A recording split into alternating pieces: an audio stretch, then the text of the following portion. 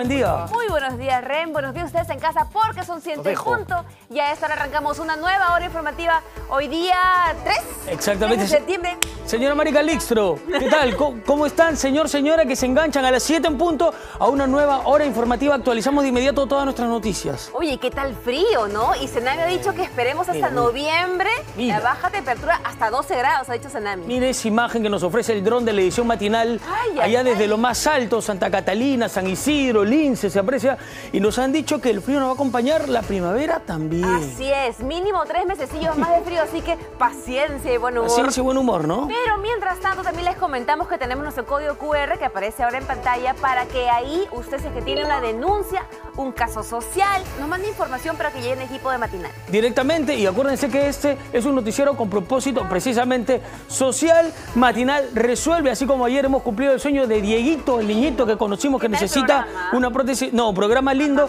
Recuerden que así también pueden confiar en nosotros, así como también a las 7 y un minutito de la mañana la gente pide las 5 de Matinal. Vámonos.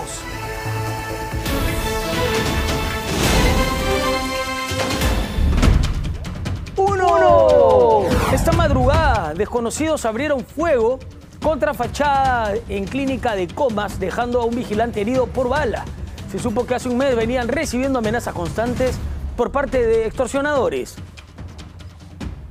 Dos. Son fuertes imágenes. Un conductor embiste a un menor llevándolo sobre el capó varios metros para finalmente arrollarlo y lamentablemente matarlo. Sucedió en San Martín de Porres. Los deudos aseguran que fue premeditado, tal como evidenciarían las cámaras de seguridad. ¡Tres! Un sujeto planeaba extorsionar a su propia hermana, dejándole un explosivo en la puerta de su casa, todo ello a cambio de 500, sí, 500 soles mensuales. Tras ser atrapado por la policía de Trujillo, confesó que lo hizo por dinero para su hijo que acaba de nacer. Cuatro. Lo dijimos hace unos momentos porque Lima seguirá experimentando bajas temperaturas pese a la llegada de la primavera que es el 23 de septiembre supuestamente y dicen que va a ser mucho más frío de lo normal. Senami así lo ha advertido. Esto causa el frío en las corrientes marinas que influirán en el clima durante varias semanas más, así que paciencia y buen humor. 7.3 tenemos una alerta informativa porque ahora también, al margen que sean las orquestas, las bandas, también en realidad los emprendedores, ahora han puesto en la mira las clínicas y nuevamente comas ese escenario de esta noticia. Oye, ¿qué está pasando con este distrito que lamentablemente nos deja una estampa tremenda, ¿no? Parece que han entrado con todo hacia una clínica y lamentablemente, mira, ahí está incluso el vehículo, ¿cómo ha quedado con, la- con las lunas? Toda la zona de farmacia también tremendamente deterioradas, las cámaras de seguridad parecen una anécdota o cómo es la situación. Carlos Medina, te vemos, te queremos escuchar, bienvenido. Buenos días, Carlos. Mari, Julio, compañeros, ¿cómo están? Buenos días. Sí, el distrito de Comas está tomado prácticamente por la delincuencia porque ahora no respetan absolutamente nada estos avesados sujetos delincuentes que han baleado el frontis de esta conocida clínica ubicada en, en la cuadra 60 de la avenida universitaria y que han disparado directo a matar en contra de las personas que estaban prácticamente al interior de este centro médico y que como consecuencia tenemos eh, ya a esta hora de la mañana se va actualizando la información dos personas heridas. Se trata del vigilante que estaba parado aquí en los exteriores de esta de este centro médico pero también nos indican que hay una mujer que estaba pasando por aquí por la zona y que una de las balas le impactó a la altura del tobillo. Es lo que nos indican y que ha sido trasladada ella hasta otro centro médico. Sin embargo, lo que se espera a esta hora de la mañana es que algún personal, eh, autoridad de esta clínica, pues pueda pronunciarse con respecto a lo ocurrido, porque de acuerdo a información policial que nos brindan eh, allá a esta hora es que pues habrían estado recibiendo amenazas desde hace un mes atrás claros, eh, digamos, llamadas de extorsión en contra de ellos y que les han estado solicitando un monto exorbitante para que los dejen trabajar con tranquilidad. Sin embargo, ustedes han visto ya la puerta de ingreso que ha sido baleada, pero también este otro vehículo de color rojo con placas CHI 532, pues la parte del copiloto también ha resultado afectado, eh, han reventado prácticamente el vidrio en la parte del asiento posterior también ha sido afectado y es que la policía ha encontrado prácticamente hasta ocho casquillos. Los rastros y, los vidrios incluso que hay por aquí por la zona pues ya han sido recogidos. Sin embargo, la, la, población está bastante expectante a lo que pueda ocurrir. Toda esta zona es donde la policía pues ha marcado prácticamente lo que ha encontrado a lo largo de la noche, ¿no? Digamos, lo que les mencionaba, los casquillos que ha podido encontrar. Mira, incluso aquí hay uno todavía. Mira, nosotros estamos caminando y encontramos casquillos como estos. Esto es lo que la policía ha logrado contabilizar durante la madrugada y que está llamando muchísimo la atención. Esto es lo que prácticamente ha impactado, mira, en la parte trasera de este vehículo, unos casquillos como estos. Y que esto es lo que atemoriza en realidad a la población aquí en Comas. No es el primer ataque extorsivo que se registra durante esta madrugada, sino que ya se ha venido registrando a lo largo de todas estas últimas semanas y que dicho sea de paso, el último fin de semana o al día de ayer estuvimos precisamente con el ministro del Interior hablando sobre eh, estos tipos de ataques. Él ha indicado que se va a desplegar una gran cantidad de policías desde el día de ayer, pero sin embargo nosotros llevamos aquí a lo, a lo largo de toda esta madrugada hasta este momento y no vemos presencia de patrullaje de la Policía Nacional sobre, sobre todo por este lugar, ¿no? Eh, digamos, es bastante raro no, no verlos por aquí. Estamos en una avenida sumamente principal, es la cuadra 60 de la avenida universitaria, el distrito de Comas. Aquí enfrente nada más tenemos una de las estaciones del metropolitano y que eh, hay un flujo bastante importante de transeúntes, sobre todo a esta hora de la mañana. Sobre todo, compañeros, resaltar la eh, situación de salud de cada uno de, de estas dos personas que han resultado afectados luego de haber impactado precisamente las balas en ellos, pues están fuera de peligro. Su vida no está comprometida, sin embargo, sí entendemos que, eh, claro, eh, la, por parte de la clínica, pues ya han podido brindarles la atención médica de inmediato. Sí, Julio. Y lo, importante la reflexión que hacías tú, porque el ministro del Interior ha estado siendo partícipe de eh, no pocos operativos, en realidad por parte de la Policía Nacional, no solamente en Coma, lo habíamos visto en Gamarra también, en La Victoria, con lo que está pasando, y lamentablemente, como lo dices tú, Mari, ni siquiera una clínica se salva. De, o sea que si estoy llevando a alguien de emergencia, estoy llevando a alguien en, en silla de rueda, en camilla, le puede caer un balazo también. Por supuesto, o sea, estamos hablando de las empresas de transportes que la semana pasada veíamos que había sido principalmente el foco y ahora amanecemos con esta noticia, ¿no? Sabes que una, una clínica también extorsionan probablemente y ya en la información que irá corriendo más tarde dirán si es que le han estado pidiendo también cupos o pagos, no sé, que lo están extorsionando, pues. porque eso no es gratuito, claramente. ¿no? definitivamente. Pero obviamente la onda expansiva que la gente, la gente como víctima involuntaria, no nada tienen que ver tampoco en esto y termina uno, o sea, si, si tengo una emergencia, ¿qué, ¿qué hago? No voy, mejor. Porque puede ser que ahora no solamente los transportistas, sino las clínicas, las farmacias estén también en manos o en la mira de los delincuentes. Gracias, Carlos Medina, por la completa información. 7 y 9 de la mañana. Vamos a ir con otras noticias porque una policía de civil en aparente estado de ebriedad se habría mostrado un poco desafiante, Mari, un poco este, envalentonada, por así decirlo, con sus propios colegas. Así es, ¿no? Bueno, ellas le intervinieron en el interior de un auto. Vamos a ver exactamente cómo fue que reaccionó. Esto sucedió en Ica. Vamos a verlo. Tú estás mal. Visita mi DNI. Estoy haciendo mi trabajo. Ya. Quiero ver tu trabajo. Quiero ver tu trabajo. Visita mi DNI. Entra tu RENIEC. Un operativo policial de control de identidad terminó con un escándalo en plena avenida al intervenir a un auto con policías vestidos de civil. ¿Cuál es el problema que esconda? No, no, no, no, no. Ya, no, es que ya no, escúchame. Yo quiero que me diga, usted, ¿Cuál es el problema que un pasajero tenga una botella acá escondida? Ya, yo le voy a decir, pero primero identifique. Sí. Apunta. Efectivos de la comisaría de Ica se encontraban cumpliendo sus funciones cuando se cruzaron con la suboficial Sandra Neira, vestida de civil, junto a sus amigos, también policías. Al solicitarle su DNI, se desató el caos. Pero apunta pues. Está anotando, señora. ¿70? Ya. Pero apunta pues. Estoy anotando. No, señora. es que no estás anotando nada. Ya, ahí, ahí está dejando constancia, ve. ¿Por qué? Ahí está anotado. ¿Por qué? Visita. Aparentemente ebria, lejos de acatar las órdenes, se puso malcriada y decidió enfrentar a sus colegas, acusándolos de abuso de autoridad. ¿Tu nombre cuál es? ¿Cuál es mi nombre? ¿Está en tu sistema? Ya, yo voy a pasar requisitoria. voy a verificar que, que sea... yo soy policía. A pesar de ser controlada y calmada por su colega y al parecer pareja, Sandra Neira baja del vehículo y le quita el celular con el que se registraba la intervención su superior. A ver, graba, ¿no?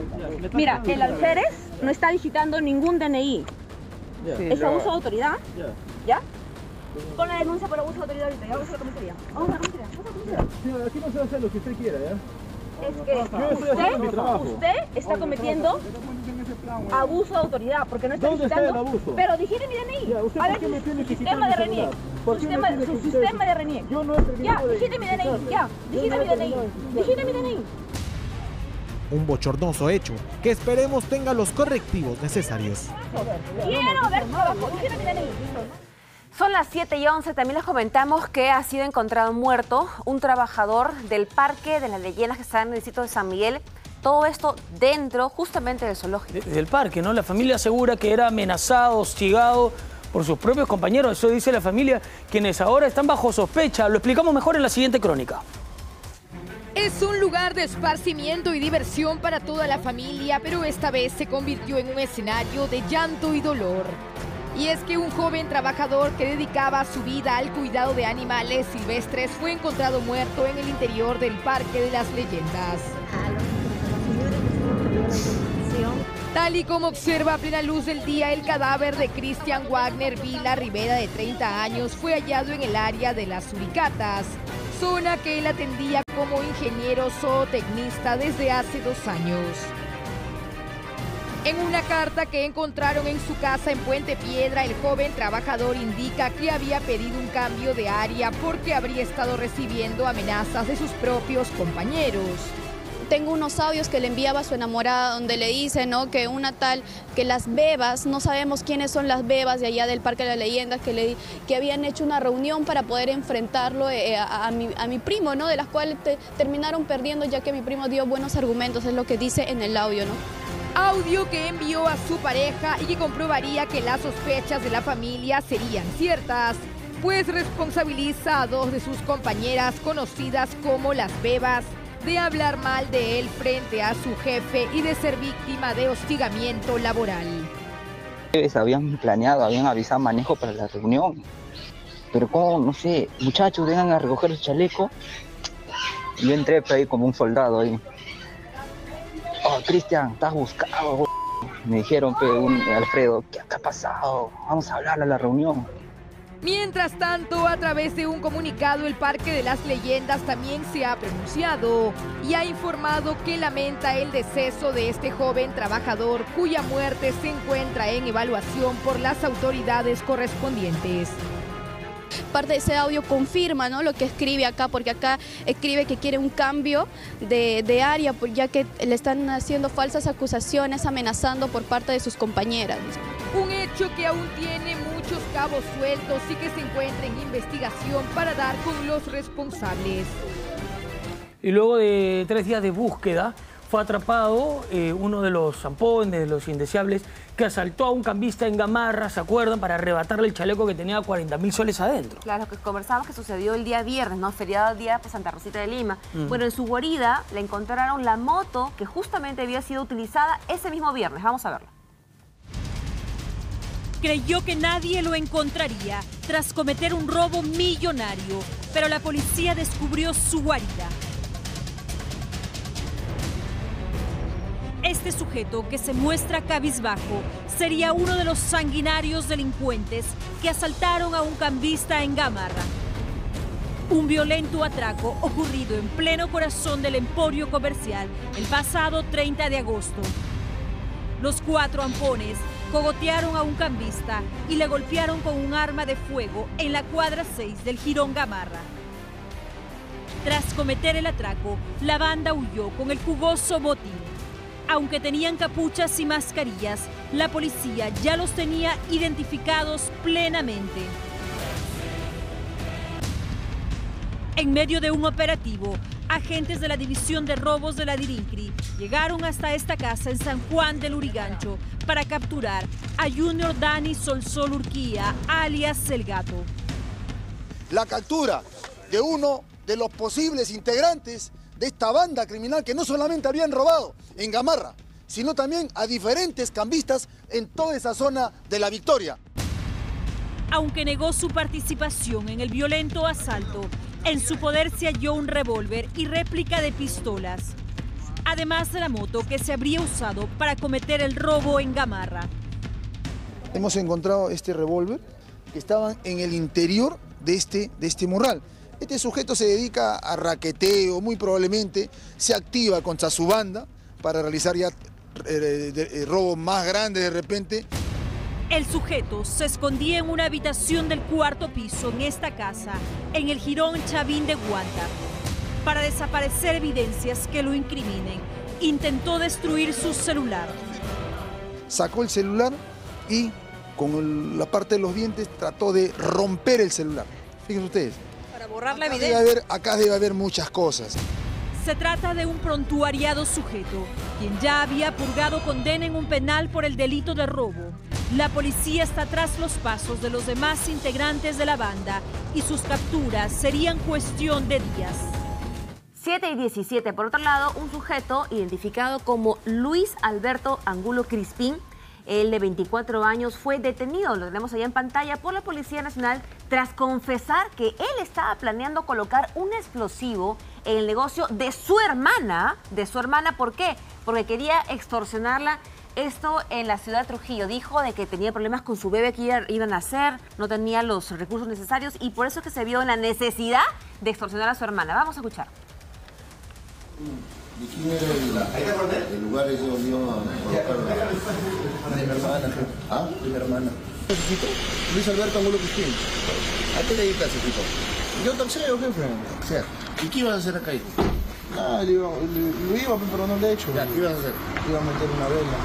¿Una vela? ¿Qué es una vela? Una dinamita, pe, pero no... Ya. No lo llevaba. ¿Y qué, y qué ibas a pedir por eso? 500 soles. 500 soles. ¿Y qué ibas a dejar para, para que tengan los 500 soles? No, me iban a poner un sticker, pero no... ¿Un sticker de qué? De un Batman, de un Batman. De un Batman. Aparte de unos pantallazos que haces aquí. De yape. ¿Eso a qué, qué, qué modalidad es? Yape falso. ¿Falso? ¿A cuántas personas has, has- has yapeado así, yape falso? A unas 30, ¿no? 30. Estaba en necesidad de plata, quería plata, profesor. ¿Y qué? Tengo mi señora embarazada y quería un objeto. Ya, hijito, bueno, tú conversarás eso con tu hermano y le explicarás. Increíble. sticker de Batman. No, un sticker de Batman. Vamos a otras noticias. En Trujillo, en el condominio de un distrito muy conocido, el Huanchaco, balneario, fue escenario de una explosión que ha alarmado a los residentes. El artefacto explosivo, ahí está como escuchamos la detonación, eso fue el ingreso del portón de un condominio, causando el terror entre los vecinos de la zona. La situación ha exacerbado el sentimiento de inseguridad que experimentan los trujillanos de esa parte o la gente de Huanchaco. Los residentes demandan una respuesta más efectiva por parte de las autoridades porque dicen no podemos vivir tranquilos si nos están detonando en los portones, en el ingreso al condominio, este tipo de artefactos explosivos. Vamos a ver ahora en Huamachuco, donde un pastor evangélico y un agente municipal están ahí en pantalla identificado como Osvaldo Alba Polo. Fue secuestrado en Chamis, mientras que su esposa y otro pastor también han resultado heridos y también referidos luego al hospital Leoncio Prado en el distrito de Huamachuco, la provincia de Sánchez Carrión. Ahí están las imágenes justamente de estos momentos en los que todo estaba tranquilo. Bueno, unos heridos, el pastor Ilmer Manzanedo Basilio tiene dos impactos de bala en la boca y en la clavícula y tuvo que ser llevado luego al hospital Belén en Trujillo. Se conoce que Osvaldo Alba, líder de la iglesia Lazos de Amor, fue vinculado de alguna forma como el dueño de la planta de procesamiento de minerales auríferos Alba y se le investiga además por los presuntos delitos de minería ilegal, contaminación, también homicidio culposo. Vamos a ir hasta otro punto porque en Chimbote un ladrón fue expulsado y paseado sin prendas de vestir en plena luz del día y frente a la mirada de toda la gente, transeúntes y las personas que estaban allí, no curiosos, también le tomaban fotos. Bueno, visiblemente desnudo, de pies a cabeza, el detenido salió por una de las puertas del mercado, el mercado modelo, además muy conocido, en la esquina de los Girones Leoncio Prado y Manuel Ruiz. Y abordó un taxi que se encontraba estacionado ante la sorpresa del chofer, que tampoco no lo podía creer, ¿no? El chofer dice, ¿quién, quién es este señor que sube desnudo acá a mi, a mi unidad móvil? Incluso el vigilante le propinó al roba celulares una severa patada en los glúteos, en la zona posterior. Aún así, con la frente en alto, pidió a todos disculpas, ¿no? Eh, indicando que nunca más, lo juro por Diosito, dijo, nunca más lo vuelvo a hacer. Tomó su taxi y se fue. Increíble, ha pasado en Chimbote. Buah. ¿Le, cre- le crees tú, Marica le Lixo? Dijo, no, nada. nunca más. no le creo nada, pero bueno. 7 y 21, ¿qué viene más adelante aquí en la edición matinal? Bueno, una ollita común lleva días, así, días sin atender. Eso significa que también hay muchas personas que tienen días sin poder acceder a la comida. Dicen que no tienen el gas doméstico. Las madres no lo han podido pagar porque aseguran que los montos, que los recibos son demasiado altos y justamente hasta este lugar ha llegado Rosa María Cabrera para que nos pueda dar un adelanto de lo que tendremos más adelante en Ventanilla. Rosa. ¿Cómo estás, Mari? Julio, ¿qué tal? Muy buenos días. Nos encontramos en Pachacútec, Ventanilla, en la olla común La Luz de Sol y Mar, justamente con los miembros e integrantes de esta ollita que el día de hoy están quejándose, pues prácticamente la empresa Cálida les habría quitado el servicio de gas y no pueden cocinar. ¿Cuál es el motivo? Indican de que habrían manipulado este medidor y que por eso la sanción son 15 mil soles. 15 mil soles que obviamente ellos no tienen para pagar. Hasta el momento nadie puede cocinar para estas más de 40 familias. Vamos a regresar con este drama desde Ventanilla, Pachacútec, Mari Calistro. Ya regresamos con todos ellos que nos van a contar su historia. Vamos a esperar los detalles, pero también más adelante vamos a estar con este caso. Una joven con diversas dolencias vive en la vereda de su casa, en la casa de la familia con todas sus mascotas. ¿Qué pasó? Lo cuenta mejor en un adelanto Talía Galvez. Bienvenida. Julio y Mari, estas son las condiciones en las que ha despertado esta mañana esta joven, luego de que, escuche bien, su propia madre y su hermana la hayan desalojado de su propia casa, bajo razones que todavía hasta el momento se desconocen, pero que según esta joven serían problemas familiares. Con eso y más vamos a regresar en breve.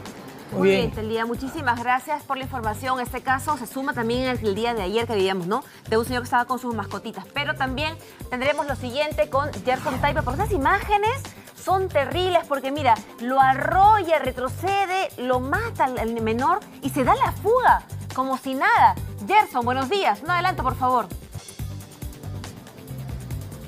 ¿Qué tal Julio, Mari? Muy buenos días con ustedes. Nos encontramos en el distrito de San Martín de Porres, donde eh, un joven de tan solo 15 años fue arrollado de manera salvaje por un conductor que ha sido identificado como Florentino Veído Pérez.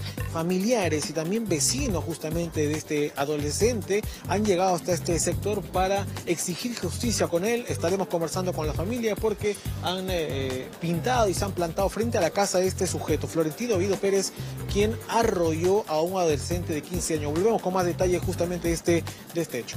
Muy bien, Gerson, estamos a la expectativa de eso, pero también tras una denuncia de una madre familia que indicó que le dieron un diagnóstico errado de, de VIH, le dijeron que, que era eh, positiva, cuando en realidad no era así. Ahora sigue la historia y la denuncia también. Sofía Gallego nos tiene un adelanto. Bienvenida. Así es, compañero. Respecto al estado crítico de este bebé, vamos a tener en breve el descargo de la directora médica del, cole- del Hospital San Bartolomé. ¿Qué es lo que dice al respecto? ¿Qué tanta responsabilidad han tenido sobre esto? Gracias, Sofi. Hojas verdes son ishanga o también conocido como la ortija. Esto en los niños puede durar el dolor hasta cuatro o tres días. Y eso es lo que están viviendo esos pequeños niños que ni siquiera saben cuál es la vida. Me duele tanto ver este video porque yo lo pasé, así como otros jóvenes indígenas lo han pasado antes de salir en la ciudad. Se debería denunciar, ayúdenme por favor. Las hojas verdes. Muy bien, ahí estábamos escuchando precisamente esta gravísima denuncia que acompaña a un video que es del horror, que escarapela el cuerpo y que ayer lo analizamos también cómo torturan con una barbaridad tremenda a unos niños por catalogarlos que le estaban corrigiendo la conducta para que se comporten como hombrecitos. Supuestamente en esta comunidad los hacían rodar de esta manera, en espinas. Ese ambiental que escuchamos Es horrible. perturba porque en realidad no puede ser posible esta barbarie, este acto de crueldad totalmente reprochable como se vea, pero al mismo tiempo decimos que ha sido muy valiente, a ese ambiental me refiero, muy valiente el activista Euner, eh, que está acá justamente con nosotros, ha llegado acá con su hermana Jessie, que también nos va a comentar que tiene un tema que, queremos un poco de ayuda, ¿no es cierto? Sin embargo, a ti, Euner, para empezar, buenos días a los dos. Bienvenido. Es, una valentía que tú has tenido a sacar este video en las redes sociales, porque yo me imagino que dentro de ti mismo decías, algo tiene que pasar para que esto no vuelva a suceder, para que algo cambie. Es lo que tú buscas. Sí. Justamente este, lo que he tenido que armarme la valentía para expresar es que cuando nosotros los jóvenes hablamos siendo indígenas, es que nos dicen que nosotros eh, estamos eh, haciendo fallar a la cultura, ¿no? Donde, ¿por qué tú tienes que adaptarte a la ciudad, a otra cultura? Pero creo que estamos en el 2024 donde los jóvenes aprendemos este, pensamientos muy diferentes o entendemos cuál es la cultura o cuál es el derecho que tiene un, ser humano, ¿no? Entonces, no, no, es una cultura cuando hay una violencia, y los pueblos indígenas, eh, como Aguajún, donde yo vengo, nunca hemos practicado una violencia por su comportamiento afeminado. ¿Tú qué has vivido? ¿A ti te ha pasado algo similar? Eh, bueno, a raíz de las problemáticas, este, de todo lo que ahorita estoy recibiendo, tanto amenazas por parte de los jóvenes también y también de algunas autoridades, es que cuando yo expresé de mi, de mi caso era de que yo desde pequeño tuve un comportamiento muy afeminado. Era más sensible, más este, débil que los otros amigos. Y entonces tanto mi papá y la comunidad siempre me decían que yo era, bueno, en ese caso homosexual y con otras más palabras muy este, groseras. ¿De qué edad de unir eh, Bueno, este, yo paso eso desde mi infancia porque cuando tenía siete años mi abuelita murió eh, porque con ella yo estaba siempre.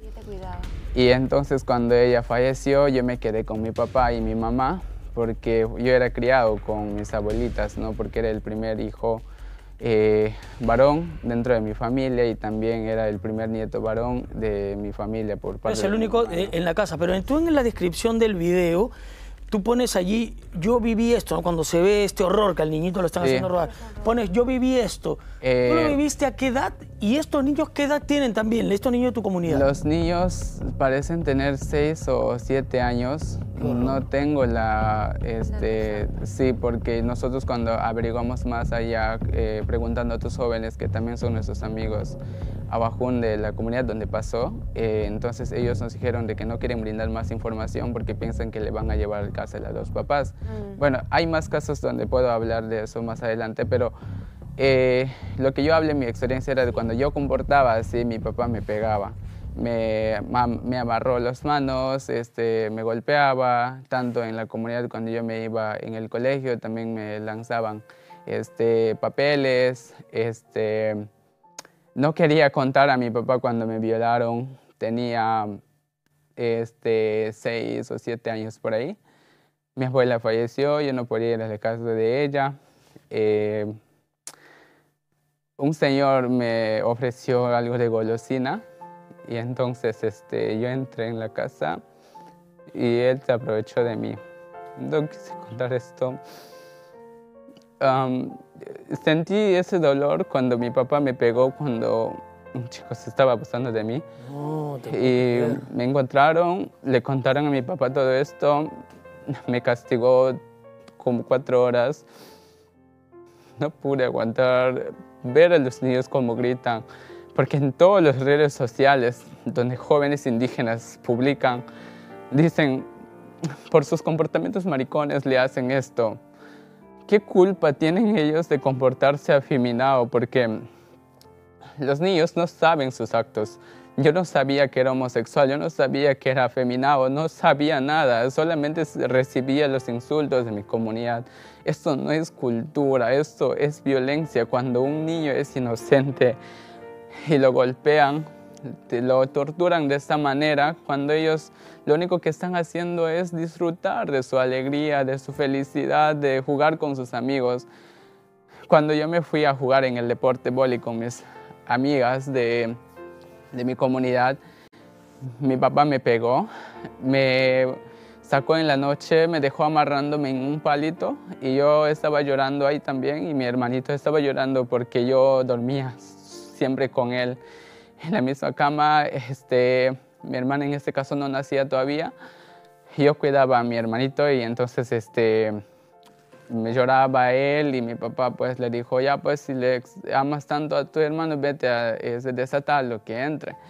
Yo entré, eh, después yo fui creciendo, eh, fui siempre destacado en mi colegio, tanto en la primaria, en inicial era el más destacado de los niños y me pasaron de cinco años a primaria nomás. Y entonces yo terminé sin desaprobar mi colegio, siempre fui destacado en todos mis estudios dentro de la comunidad y tanto en la universidad donde estoy estudiando también pues tengo buenas notas. Y entonces yo siempre contaba eso donde mi papá se alegraba por mis notas eh, ya que en la comunidad cuando tú sales a estudiar en la universidad te ven que eres el más grande o el que más conoce sobre las cosas de los estudios que hacemos, ¿no? Entonces, este, llego a los 17 años y pues por eh, chistes de mi familia, pues se entera mi papá que yo nunca me había cambiado, porque mi papá siempre me preguntaba, o mis amigos, mis familias siempre me preguntaban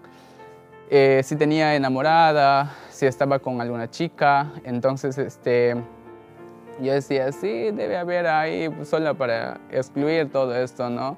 Y entonces cuando me preguntó, eh, yo le dije a mi papá llorando, que ya no puedo ocultar todo esto porque yo nunca he cambiado esto. Y mi papá este, me dio de tomar muchos este, eh, medicinas tradicionales, prácticas ancestrales que siempre se practican, ¿no? Donde nos dicen que somos enfermos y que esto va a curar. Y entonces me, sexual sea diferente, sí, y entonces este, yo nunca este, cambié porque tú me has dado esto, ¿no? Entonces eh, es mi decisión y yo le hice entender a mi papá, donde recién me entendió me dejó fue un proceso también que llevamos tanto en la familia, donde ellos eh, pasaron momentos donde no me quisieron hablar, pero ahora ya no. Eh, tengo una buena relación con mis papás, yo lo amo por todo lo que pueda hacer.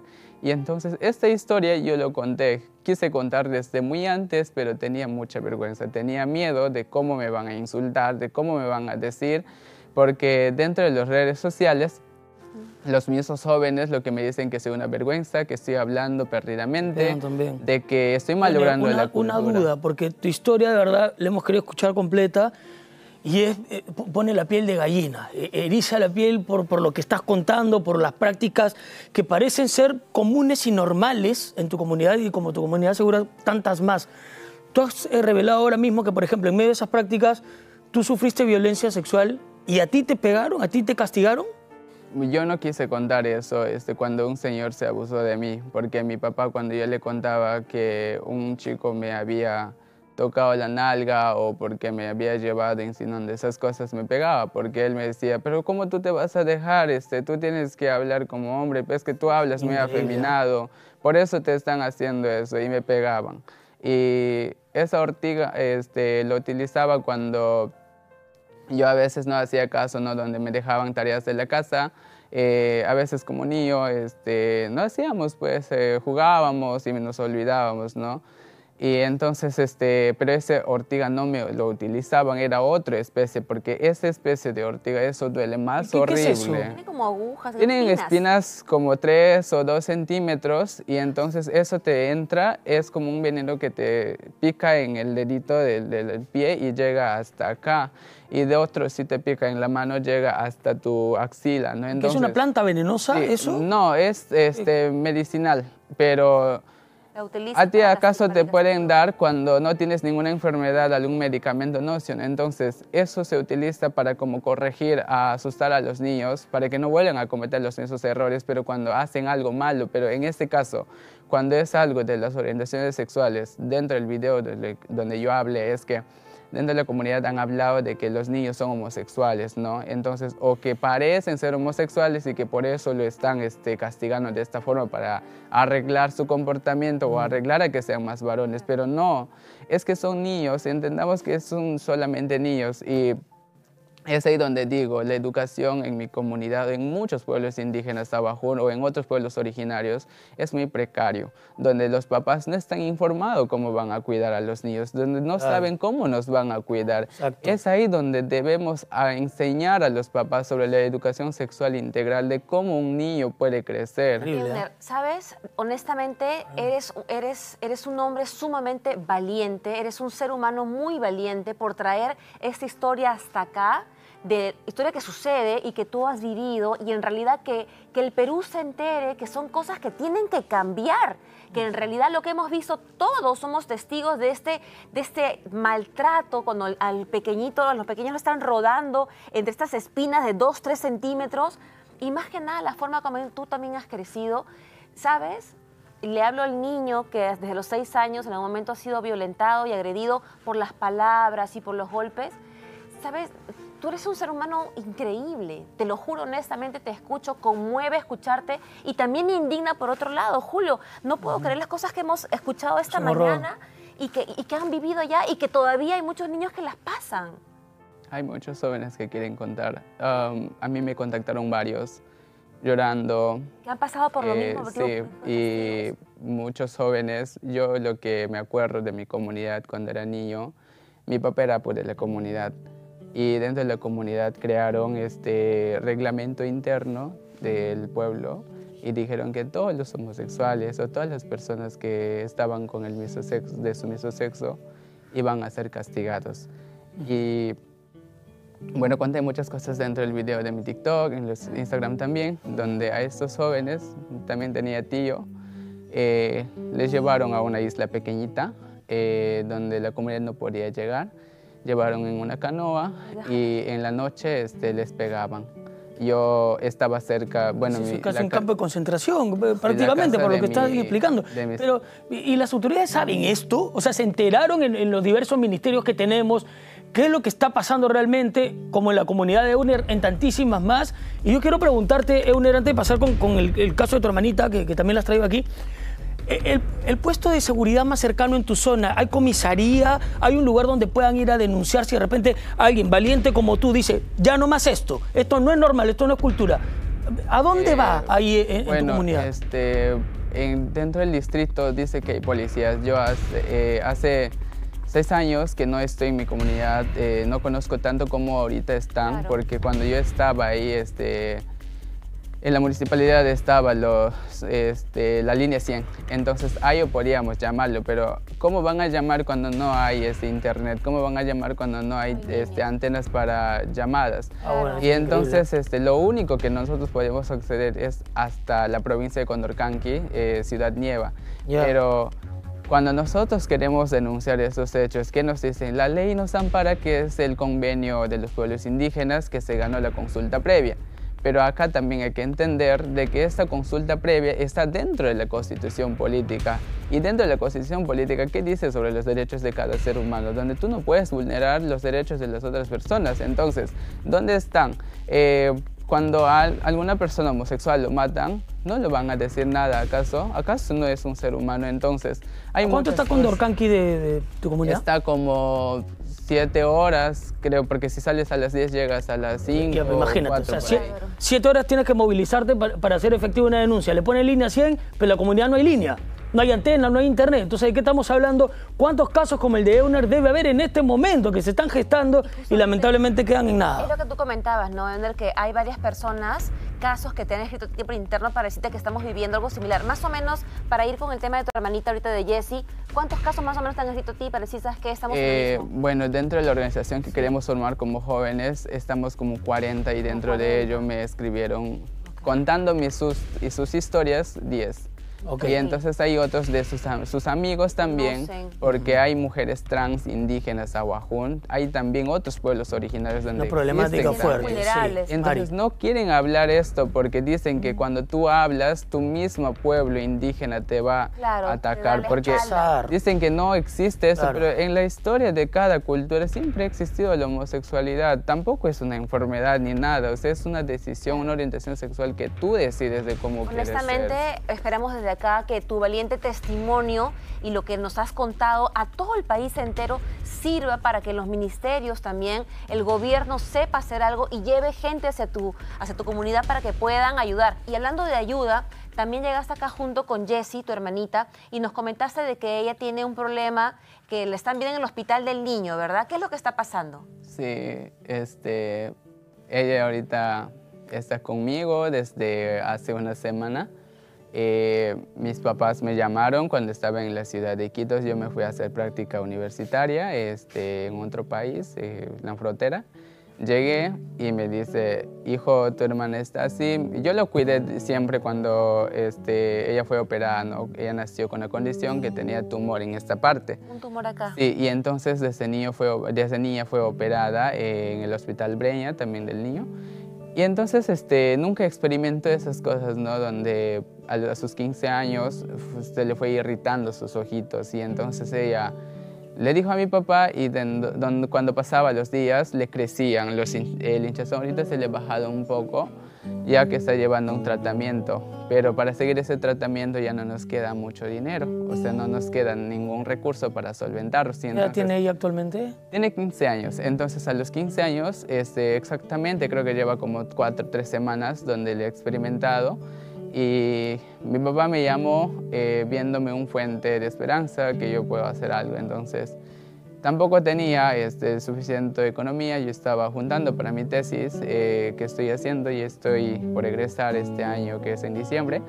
Y entonces eh, mandé un flyer pidiendo ayuda a mis amigos de otros países también. Estás buscando una colecta para poder ayudar a tu hermanita Jessie para que pueda seguir el tratamiento por el tumor que tiene, ¿no es cierto? Sí, porque está siendo atendida, pero para seguir la atención no tenemos dónde quedar. Medicamentos, todo eso también imagino. Y el alojamiento no. Ahorita nosotros hemos tenido con todas las cosas porque el alojamiento que nos han dado se ha vencido, entonces eh, no sabemos dónde quedarnos. No, es que no tenemos ni familia aquí y vivir en la ciudad para nosotros es caro. En la comunidad eh, comemos de nuestras chacras, ah, dormimos donde nosotros este, no pagamos, porque nosotros hacemos estos Pero acá es totalmente diferente. Sí, eh, adaptarnos a otra cultura es muy chocante para nosotros. Mi hermana no puede comer muchas comidas de la ciudad, verduras, frutas, y entonces estoy tratando de conseguir algo para que ella pueda alimentarse, ¿no? Y entonces eh, ella creo que le han detectado una enfermedad más que le está afectando y entonces este, vamos a ir otra vez a la consulta para que pueda ser atendida. ¿Siempre en Breña? ¿Siempre todas las consultas que están haciendo estamos en San Borja. Ah, eh, las han derivado al, otro instituto del niño. Vinimos de emergencia, no, no nos querían dar este, rápido este, las referencias hasta acá, entonces yo le dije a mi papá que me enviara hasta acá porque tenía algo de dinero para poder pagar los pasajes y, y junto con los amigos que yo los conozco me han apoyado este, publicando, entonces llegamos algo de este caso. Pero se necesita un poco más y justamente en pantalla tenemos los teléfonos del Yape Plin.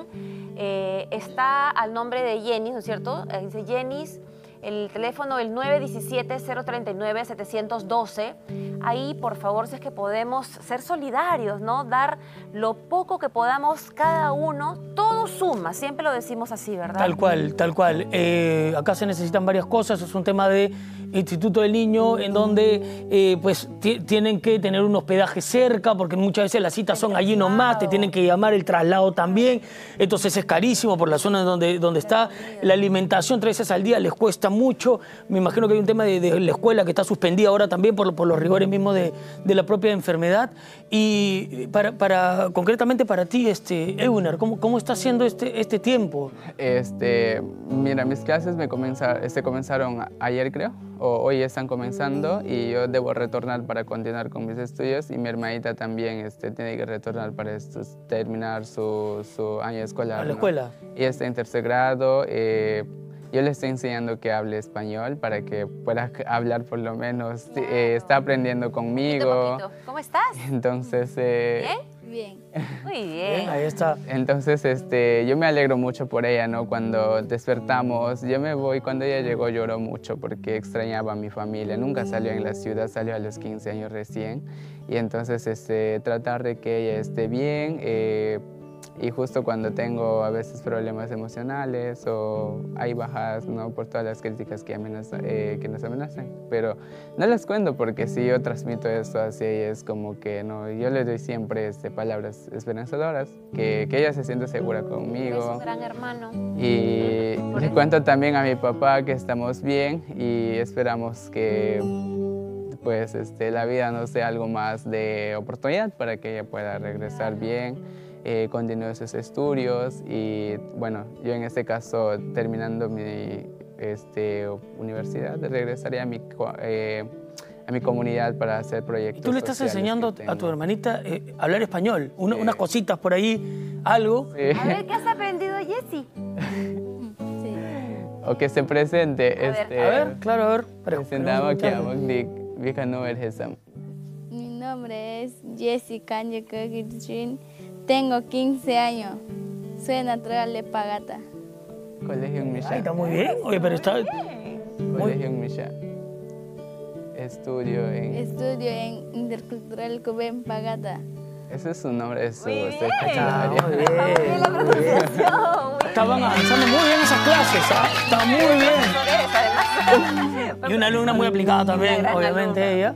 Entonces, ¿qué te parece si es que ya para terminar nos repites el número de ayuda para que toda la gente en su casa puedan hacerte un yape, un plin, ¿te parece? Bueno, este, agradezco de todo corazón a todas las personas que nos están ayudando con todo esto.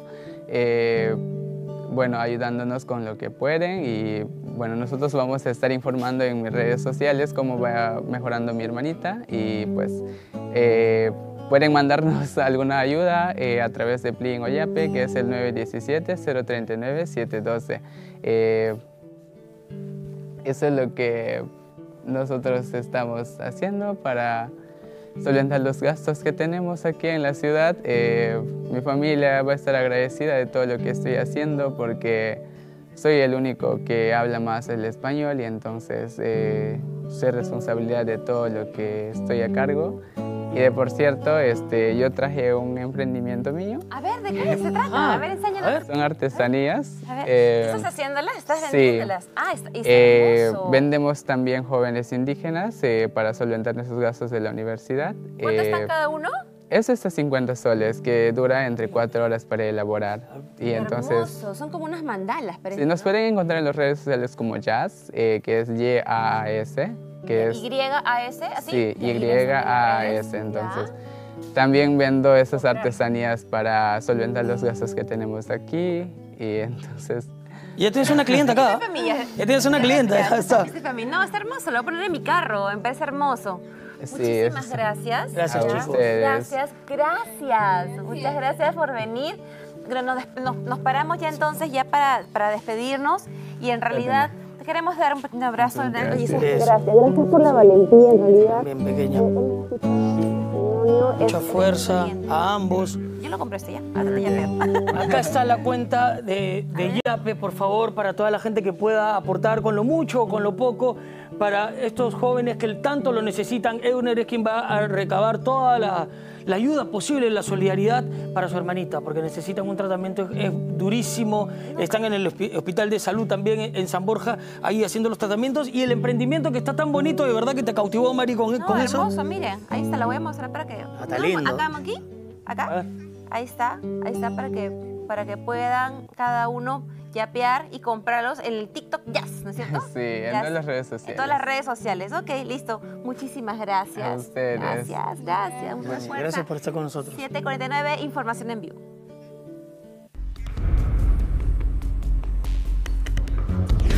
Gerson, estamos contigo, te queremos escuchar, bienvenido. ¿Cómo te va, Julio? Mari, muy buenos días. Eh, bueno, estamos con los familiares, tanto la hermana como la mamá de este adolescente de 15 años que les estaba contando. El pasado fin de semana, lamentablemente, fue arrollado de manera salvaje por un conductor justamente en esta avenida, en el distrito de eh, San Martín de Porres. Estamos con la hermana, con Cris, quien ella fue quien lo intentó auxiliarlo, lo llevó al hospital. Lamentablemente, en el hospital es donde pierde donde llega a perder la vida. Cris, ¿cómo estás? Mm, buenos días. Eh, no, mi hermanito cuando yo me acerco, él ya estaba a los minutos convulsionó. Cuando llega la ambulancia, eh, en la ambulancia le da el paro. el paro y los trataron de reanimar, reanimar, reanimar, pero cuando llegamos al hospital, a los minutos nada más me dijeron que ya no se pudo hacer nada. Ahora, ¿ustedes han podido identificar al conductor de este vehículo? Es mi, ah, es mi vecino joven, vive al frente mío, nos conocemos hace años. Yo vivo acá casi tres años, hasta un poco más. Y siempre nos hemos saludado, por eso que el día del accidente, cuando yo le digo, ¿qué pasó? Le dije, ¿qué pasó? ¿Quién fue? Le digo, cuando mi hermanito estaba tirado y me dice, el de chaleco rojo. Entonces yo buscaba y no encontraba y veo que acá estaba parado, mirando el accidente como un espectador de lejos. Entonces me acuerdo que había dejado a mi hijita encerrada, regreso y le digo, y paso por acá y le digo, ayúdame por favor, auxíliame, por favor. Y solo me miró, no me dijo ni una palabra, me miró como indiferente. traje a mi hijita. Pero yo le digo, no, a mi hermano le dije, Paolo, no te duermas, hijito, porque yo creí que se quería desmayar. Solamente le vi raspadito su rodilla y dije, te quiere desmayar, hijito, no, y sale su hija de él y me comienza a auxiliar. Me dice, no lo toques, no lo toques, no se le puede mover. Y en eso los vecinos, mi hermano comienza a convulsionar. Y la desesperación de los vecinos comienzan a abrir la maletera porque no había conductor, estaba como un carro abandonado. Los vecinos abren la maletera, me tratan de para que mi hermanito entre ahí. Y había cajas de tragos, cajas de vinos, cajas de licores. licor ahí dentro del vehículo? Sí, había, pero cajas grandes y había poquito espacio y mi hermano solamente era más alto que nosotros. No iba a poder ingresar ahí. aparte no había ni conductor joven. ¿Quién me iba a auxiliar? Yo digo, si tenía carro, ¿por qué él no me dijo súbanse? Después yo de, de mi enojo quizás algo le iba a decir, pero auxiliarme, perdí tiempo, perdí mucho tiempo. Claro, claro, las imágenes son contundentes porque se le ve al vehículo encender e y pasarlo, arrollarlo a, tu hermano. No frenó nunca. No, porque cuando él lo arroja, si frenaba, iba a ser un golpe. Pero él aceleró más y ahí es donde le pasa, porque sí que él frenaba solamente, él le iba a golpear o le iba a raspar, pero no frenó. Y eso hizo que mi hermano falleciera más rápido. El conductor, eh, según la identificación que ustedes han podido hacer, es Florentino Bellido, Pérez. así, y su casa es la que está acá. Sí, justo ayer después del entierro de, de mi hermanito, venimos y los vecinos nos comenzaron a abrazar y los vecinos mismos es lo que los vecinos me dicen, vecina, ese asesino tiene que pagar, vecina.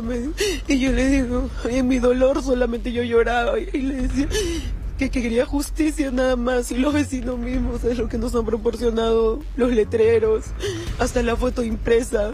Ellos mismos nos han proporcionado, ellos mismos son los que han pintado. Claro, este es el grupo de vecinos y familiares también que han llegado hasta este sector, hasta la casa del conductor identificado como Florentino Bellido Pérez y han pintado efectivamente la casa con spray, bueno, el timbre lo han roto. Y el día de ayer su hija porque yo comencé con mi familia a decir asesinos y como ahorita me trae policías. Y yo, joven, yo mi consulta, me quedé con una duda grande en el corazón, porque eh, en el momento que ella no sale de la casa, porque desde que yo me planté acá, ella no sale de la casa, y no sé cómo, trae patrulleros, por dónde salió, y yo digo, no sé si esta casa es doble, por atrás hay un ingreso, no, no comprendo porque no la vimos salir. Y cuando viene, ella me mintió porque ella ese día dijo en el parte, él no nos contesta la llamada. Y ayer ella me dice, mi papá está en depresión, mi papá está en depresión, no sabe, no sabemos qué ha pasado. Y yo le pregunto, si no tenían comunicación, ¿cómo sabe que está deprimido? Ahora, eh, ¿ustedes tendrían que correr con todos los, todos los gastos? No, no, joven, desde el día que pasó el accidente no sé de nadie. No, digo, los gastos los han tenido que correr ustedes mismos. Claro, nosotros eh, eh, cuando Pablo lo hemos llevado al hospital no sabíamos nada, no sabíamos nada porque desconocíamos de quién era el auto en ese momento de desespero, solamente queríamos que lo atiendan. Claro. No, o sea, no, no sabíamos nada hasta el momento, hasta que después que mi hermano fallece recién. Acá está la imagen justamente eh, del del conductor, ¿no? Eh, identificado por la familia del adolescente, 15 años. Ese día salía a jugar pelota, ¿no? Como todos los días. Él almuerza y siempre espera un ratito porque con los amigos del colegio siempre se van. Son amiguitos del colegio. Y, y lo peor de todo es que me llaman de la comisaría, me dicen, hemos atrapado al, al dueño del auto. Y después me dicen, pero tú lo has visto, tú lo has visto. Y él no es mi vecino, o sea, pero quizás estuvo. Yo, en mi dolor, en mi desespero de ver a mi hermano, no he mirado caras. Claro. Entonces, lo único que opté por decir es, no recuerdo. Y mi hijo se le tiene que dejar libre. Al dueño del vehículo de este Station Wagon Que es primo de, de, de Florentino. sí, de Florentino Bellido Pérez. Es más, me decían, bueno, dicen los vecinos, dicen la gente que está aquí, que ese día, viernes, había una fiesta en la casa. Sí, porque ellos, los vecinos, cuando después que pasa esto, yo vengo acá a la casa a ver la cosa de mi hermanito, me dicen, vecina, pero ellos descargaban, ellos descargaban más tragos, me dicen, entonces no sé si ellos tenían la intención de seguir tomando en otro lado o a dónde irse, quizás en esa oportunidad, si no era mi hermano, iba a ser cualquier persona. Estamos con la mamá también, con, con Paola. Paola, ¿qué tal? ¿Qué te gustaría decirle a las autoridades para que justamente se haga justicia por tu hijo? Un adolescente de tan solo 15 años. Queremos que el apoyo de la doctora Sacieta, que nos ayude con los papeles a agilizar, a agarrar a ese asesino que lo ha lo ha matado a mi hijo y se ha tirado a la fuga y tiene el apoyo de su hija. Encima vienen policías resguardándole como si nosotros fuéramos los culpables de lo que está pasando.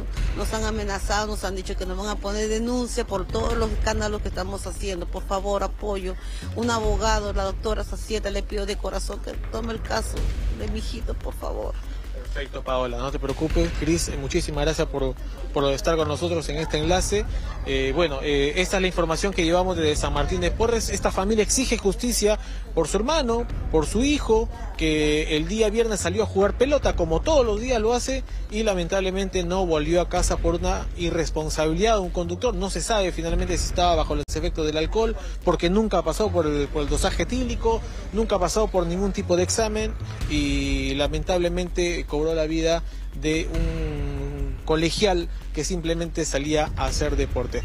Esta es la información que tenemos con ustedes. Volvemos unos minutos más, Mari Julio. Muy bien, muchas gracias Gerson por la completa información. 7.57 de la mañana. Regresamos al piso de la edición matinal. Vamos a cambiar el tono de las informaciones porque ayer nosotros le dimos eh, cabida a una denuncia muy fuerte por parte de una madre, quien ella desesperada indicaba, denunciaba que le dieron un diagnóstico errado de VIH, esto es tremendo, con graves consecuencias para ella, psicológicamente, para su bebé que se encuentra en el hospital también, para una hija mayor que tiene, mayor que el bebito que la tiene en la casa, e incluso también para su propio esposo, ante esto que causa zozobra y cómo no. Imagínense ustedes estar eh, en la tranquilidad de dar a, dar a luz y es cuando ella le dicen de que ella tiene VIH. Y en realidad, como nos comentaba la mamá, por su mente pasaron mil cosas. Hasta el suicidio fue una de las posibilidades tan duro como esto, porque imagínense la desesperación, ¿no? Entonces, es un caso que claramente preocupa porque no se dice cómo sucedió, qué tipo de resultado fue el que le dieron al punto que le han dado también la medicación para el resultado. Bueno, Tal cual. para poder hablar más sobre este tema y entenderlo claramente, hemos invitado aquí al set al doctor Jimmy Cochache. Él es el abogado justamente de la señora Priscila Soto, la madre de familia. ¿Cómo está usted, doctor? Doctor. Muy buenos días. ¿Qué tal? Bienvenido. Vamos, vamos a estar con usted en breve. Primero hay un comunicado de San Bartolomé, pero también tenemos a nuestra compañera Sofía Gallegos en el lugar. Con el descargo precisamente de la Junta Médica, que, que estamos viendo, le damos la bienvenida. Muy buenos días. Queremos escucharlo, Sofía. Bienvenida. Buenos días. ¿Cómo están compañeros? Así es, estamos en compañía de la doctora Rocío León Rodríguez, directora médica del Hospital San Bartolomé, así como también podemos observar, aparte del staff médico, tenemos a una infectóloga, también un especialista en cirugía pediátrica y el área administrativa del hospital. Iniciamos con la doctora León a propósito de lo que usted ya ha podido escuchar desde ayer, disculpe por dar la espalda, una denuncia bastante grave, ¿no? Que no se entiende cómo en un hospital cuando un paciente ingresa, se le realiza prueba rápida, luego una prueba más rigurosa y termina dando un falso positivo, que en este caso no solamente afecta psicológicamente, sino también eh, lo que se refiere a la propia vida de un recién, un prematuro. Ustedes han emitido un comunicado señalando que eso se refería, bueno, las condiciones del bebé por ser prematuro y no realmente por haberle administrado estos antirretrovirales. Eh, muy buenos días. Efectivamente, eh, las pruebas que se solicitan a toda gestante que viene a atenderse en el hospital forman parte de un protocolo y lógicamente no hay una prueba 100% segura. Por lo tanto, hay un margen de error. Lamentablemente, la señora no tenía ningún control en nuestro hospital. Es una paciente de alto riesgo, que quiere decir que es una paciente que debió tener controles adecuados en una institución, no las tuvo, y por lo tanto, cuando ella viene en labor de parto, de 32 semanas, es decir, le faltaban dos meses todavía para dar a luz, lógicamente la institución tiene que asegurar la atención y la salud de la madre y el niño. Y por lo tanto se le, se le hace esa prueba rápida de VIH y lamentablemente sale una prueba reactiva. Ante esto hay protocolos a nivel internacional. Mientras se va confirmando esta prueba, que demora algunos días y no la hacemos en el hospital, tenemos que iniciar el tratamiento antirretroviral tanto a la madre como al niño. Lógicamente, previo consentimiento informado, acá nuestra infectóloga Fadia Uribe ha sido la encargada de conversar con la señora y de explicarle los motivos por los cuales se les iba a iniciar el tratamiento y la señora aceptó. Entonces, bueno, lamentablemente a los dos días de nacido, el niño eh, tiene esta complicación de la prematuridad llamada la enterocolitis necrotizante y que es una complicación muy severa y con altísima mortalidad. Por lo tanto, nuestros cirujanos pediatras han actuado en, eh, en concordancia con eso y le han salvado la vida al niño. El resultado es favorable.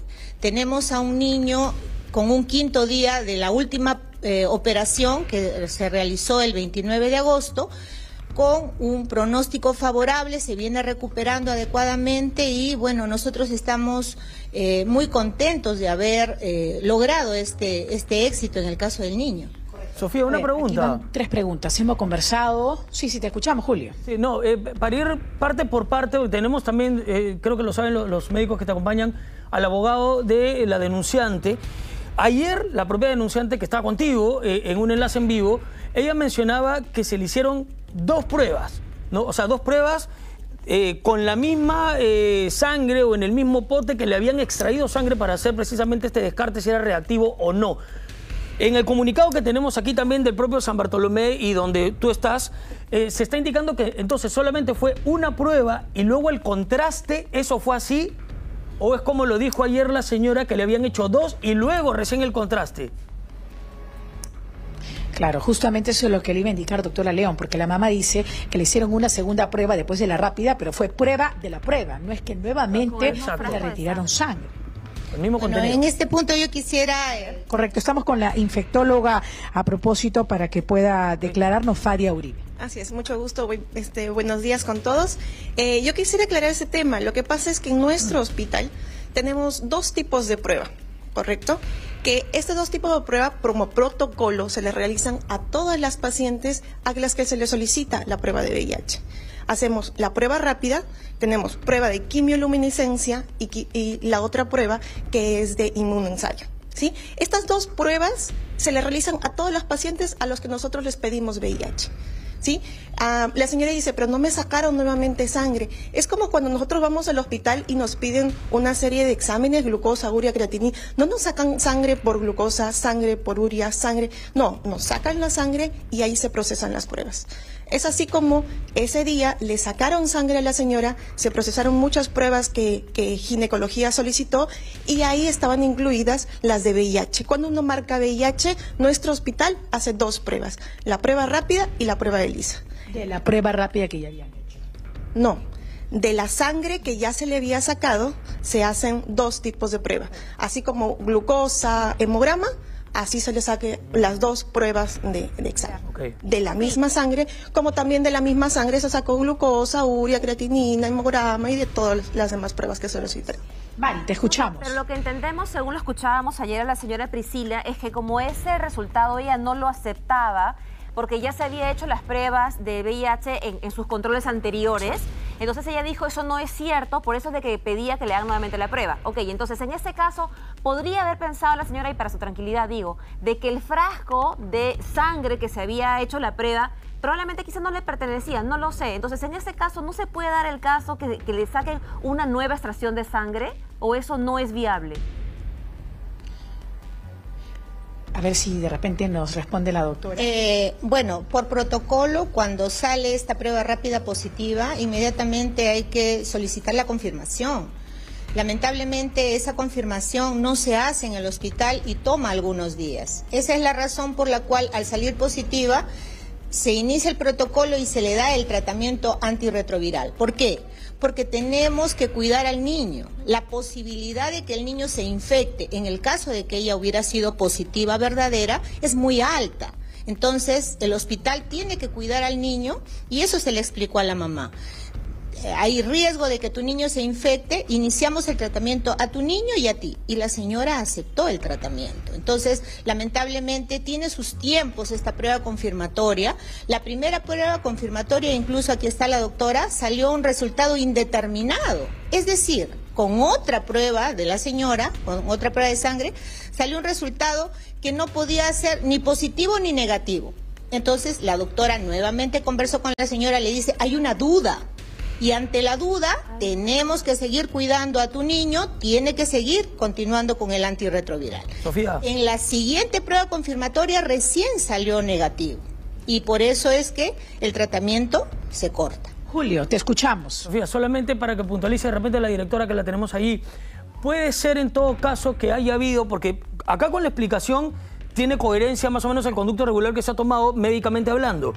Pero puede haber habido una eh, no correcta comunicación, no correcta información de lo que se estaba haciendo con lo que se le estaba planteando a la paciente. Quiero decir esto pasándolo limpio, que en el estado en el que se encontraba la señora, que es una paciente que obviamente estaba mal, estaba con, todas las cosas allí, no, no llega a entender adecuadamente la explicación. De repente se hicieron las cosas muy rápido. Entendemos además el sistema de salud tiene que atender a varios pacientes, no es uno solo.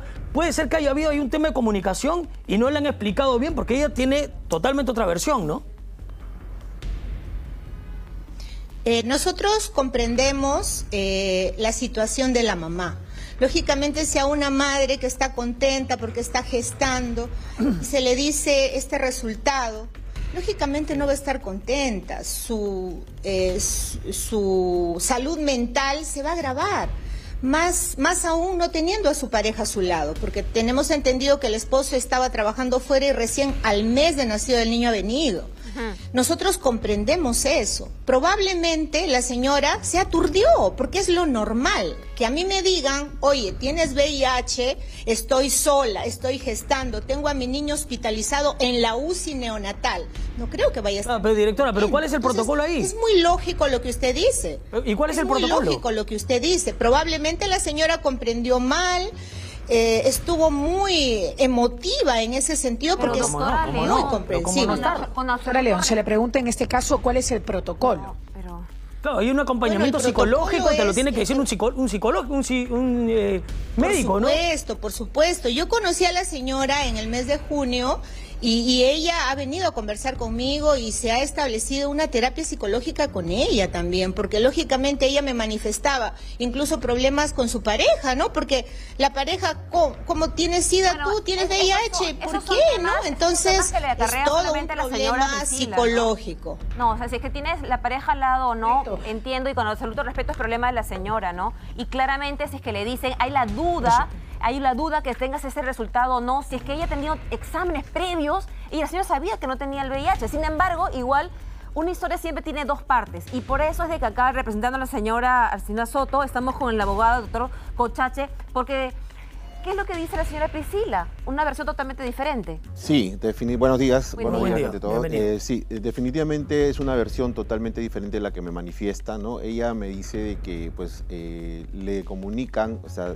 un residente, ni siquiera un médico, le comunica que tiene VIH, pero de una forma fría, ¿no? En la cual la señora entra pues en shock porque es- no es una noticia para tomarlo a la ligera, pues, ¿no? Definitivamente. Y es así como se le adelanta más las contracciones y pues toman la decisión de hacerle la cesárea, pues, ¿no? Pero no este, tomaron la previsión de llamar a un psicólogo o de repente en algunos casos de repente reservarse la información hasta que tengan la noticia eh, ¿no? Eh, concreta de que si es o no positivo, ¿no? Entonces, pero no, acá se lo dijeron y la señora entró en shock, ¿no? Entró en shock y bueno, se le adelantó el parto y eh, es así como sucedió todo lo ¿Su que... patrocinada en qué momento recibe la atención psicológica que nos están mencionando de lo Ella me dice que no ha recibido ninguna terapia No ha ido a- No ha recibido ¿Y esto es así. Sofía? Es lo que me dice ella, ¿no? Sofía, el abogado de... de- Sí, a ver, la de doctora León está escuchando que no recibió nunca. lo que está señalando el abogado. Ajá, eh, bueno, la señora Priscila Soto ha mencionado que no. Eh, bueno, en ese punto es importante establecer eh, que nosotros, si bien es cierto, puede pasar un tema de comunicación, la forma en, lo que, en la que se, se mencionan los resultados, eso es muy cierto. Pero esperar a una confirmación dentro de varios días para iniciar el tratamiento era demasiado riesgoso para el niño. Y nosotros tenemos la no obligación por protocolo de iniciar un tratamiento. Lo- lo que Aunque es sea duro, tenemos que iniciar el tratamiento porque aquí está en juego la vida del niño. Y la doctora Fadi en todo momento se ha reunido con la mamá, ha habido un acompañamiento para explicarle, porque es cierto, las- Pero los acompañamiento que el señor Cochacha dice que no Lo que es pasa, ¿no? sí, no, eh, lo que pasa que ahí en el hospital lo que me manifiesta la señora Priscila es que no la dejaban ingresar a su mamá. O sea, eh, algo que tenemos que tener claro que como, como tú mismo lo dices, un paciente va en estado mal de salud. ¿No? Entonces es difícil que pueda entender las cosas que le dicen. Es más, yo le pregunté a la señora Priscila si pudo entender y leer o le, le explicaron el consentimiento informado y ella me dijo, no, solamente me hicieron firmar, no entendí lo que me explicaron, firmé y no me ¿Qué pasó explicaron. con su mamá? ¿No podía ingresar? No le dejaban ingresar, ¿no? No la dejaban ingresar, entonces eh, solamente ella es a la que le Absolutamente trajeron. Sola, sola, ¿no? Entonces eh, eso es lo que me manifiesta ella y me dice, pues no, prácticamente yo no entendía cuando te dicen eh, la enfermedad que tienes, no entendía nada, me hicieron firmar y nunca tuve una persona que me explicara detalladamente eso, ¿no? Pero, perdón, pero este, acá hay algo muy importante que dice la doctora, ¿no?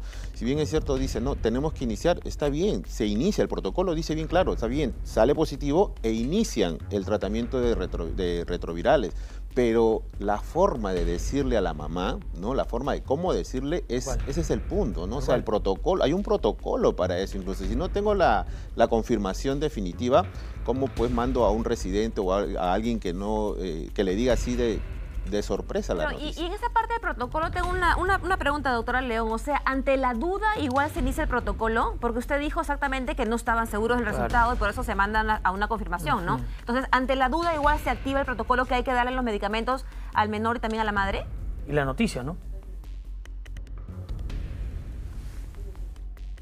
A ver, vamos a escuchar. Tenemos A ver. una prueba rápida positiva e iniciamos el tratamiento antirretroviral. Y también quiero aclarar algo importante. No fue un residente o un interno los que le explicaron a la mamá. La doctora Fadia Uribe es infectóloga pediatra de nuestro hospital y ella fue la encargada de explicarle a la señora los motivos por los cuales se tenía que iniciar este protocolo con antirretrovirales. Ella eh, nos ha explicado la forma como permanentemente está en contacto con la mamá, incluso tiene mensajes de la propia mamá donde permanentemente ha estado en contacto con ella. Entonces, eso es importante para nosotros porque comprendemos, como le repito, el momento de estrés que ha tenido ella y era necesario un acompañamiento y en este caso el acompañamiento lo ha tenido por parte de nuestra infectóloga pediatra. Doctora León, bueno, ahí está entonces, se aclara de que fue la infectóloga quien dio la noticia, no un médico internista. No obstante, igual esta historia todavía continúa porque la criaturita, el recién nacido, está complicado de salud allí mismo, lo están atendiendo, está evolucionando favorablemente, pero obviamente yo creo que también igual la señora va a tener que llevar un tratamiento psicológico porque ha sido de terror. O sea, una noticia así en estado de gestación, obviamente, porque te va a caer y te va a alterar absolutamente todo. Hay un pedido, de la, hay un pedido de, la, de la mamá, de la señora Priscila, hay un pedido que quiere ser trasladada al hospital del niño. ¿no? Ella me dice, por favor, doctor, me dice si pudieran trasladarme al hospital del niño Mm. para que pueda llevar todo su tratamiento porque no se siente tranquila ahí, ¿no? O sea, con todo lo que ha ¿De pasado. no depende se- la gestión? ¿Ya del hospital, del hospital. Que haga- que lo deriven Que lo de deriven, que hagan el traslado al, al hospital del niño. Ok, bueno, están escuchando definitivamente en el Hospital San Bartolomé, a ver si es que lo consideran a bien que esté, que sea el traslado efectivo. Muchísimas gracias, Exacto. doctor, por aclararnos más el tema. Pero lo cierto es que esto nos lleva hacia otra pregunta, ¿no? Y es que, Mm. por ejemplo, si es que uno, un paciente, tiene ah, alguna, alguna atención inadecuada, ¿qué es lo que tiene que hacer? Claro, ¿Cuál o- es la vía, los canales? O, o ante la duda, ¿no? Definitivamente siento que este caso le hace flaco favor a nuestro sistema de salud, al sistema de salud peruano, por cómo se dan las noticias, cómo se dan los diagnósticos. Pero a ver, para eso, señor, señora, vamos utilitario también, para que no vuelva a pasar esto, tenemos a la Superintendencia Nacional de Salud, a su salud, y tiene varios canales para atender precisamente estas dudas, incertidumbres y todo lo demás. Vamos directamente a ampliar la entrevista. Lo tenemos aquí al doctor José Elías Cabrejo Paredes, Superintendente Nacional de Salud, de su salud. ¿Qué tal? ¿Cómo está? Bienvenido. Concretamente los canales, ¿a dónde podemos acudir? ¿Cómo hacemos efectivas estas consultas? Gracias, muy buenos días Mari, muy buenos Bienvenido. días Julio. Este, ante todo su salud se solidariza con la señora Priscila Soto por esta situación que obviamente le está embargando. Nuestros canales de comunicación son la vía telefónica, el 113, eh, eh, la opción 7. También tenemos a través del correo de que es atención al usuario, arroba susalud.gov.pe. Tenemos la vía de APP, nuestro aplicativo Contigo.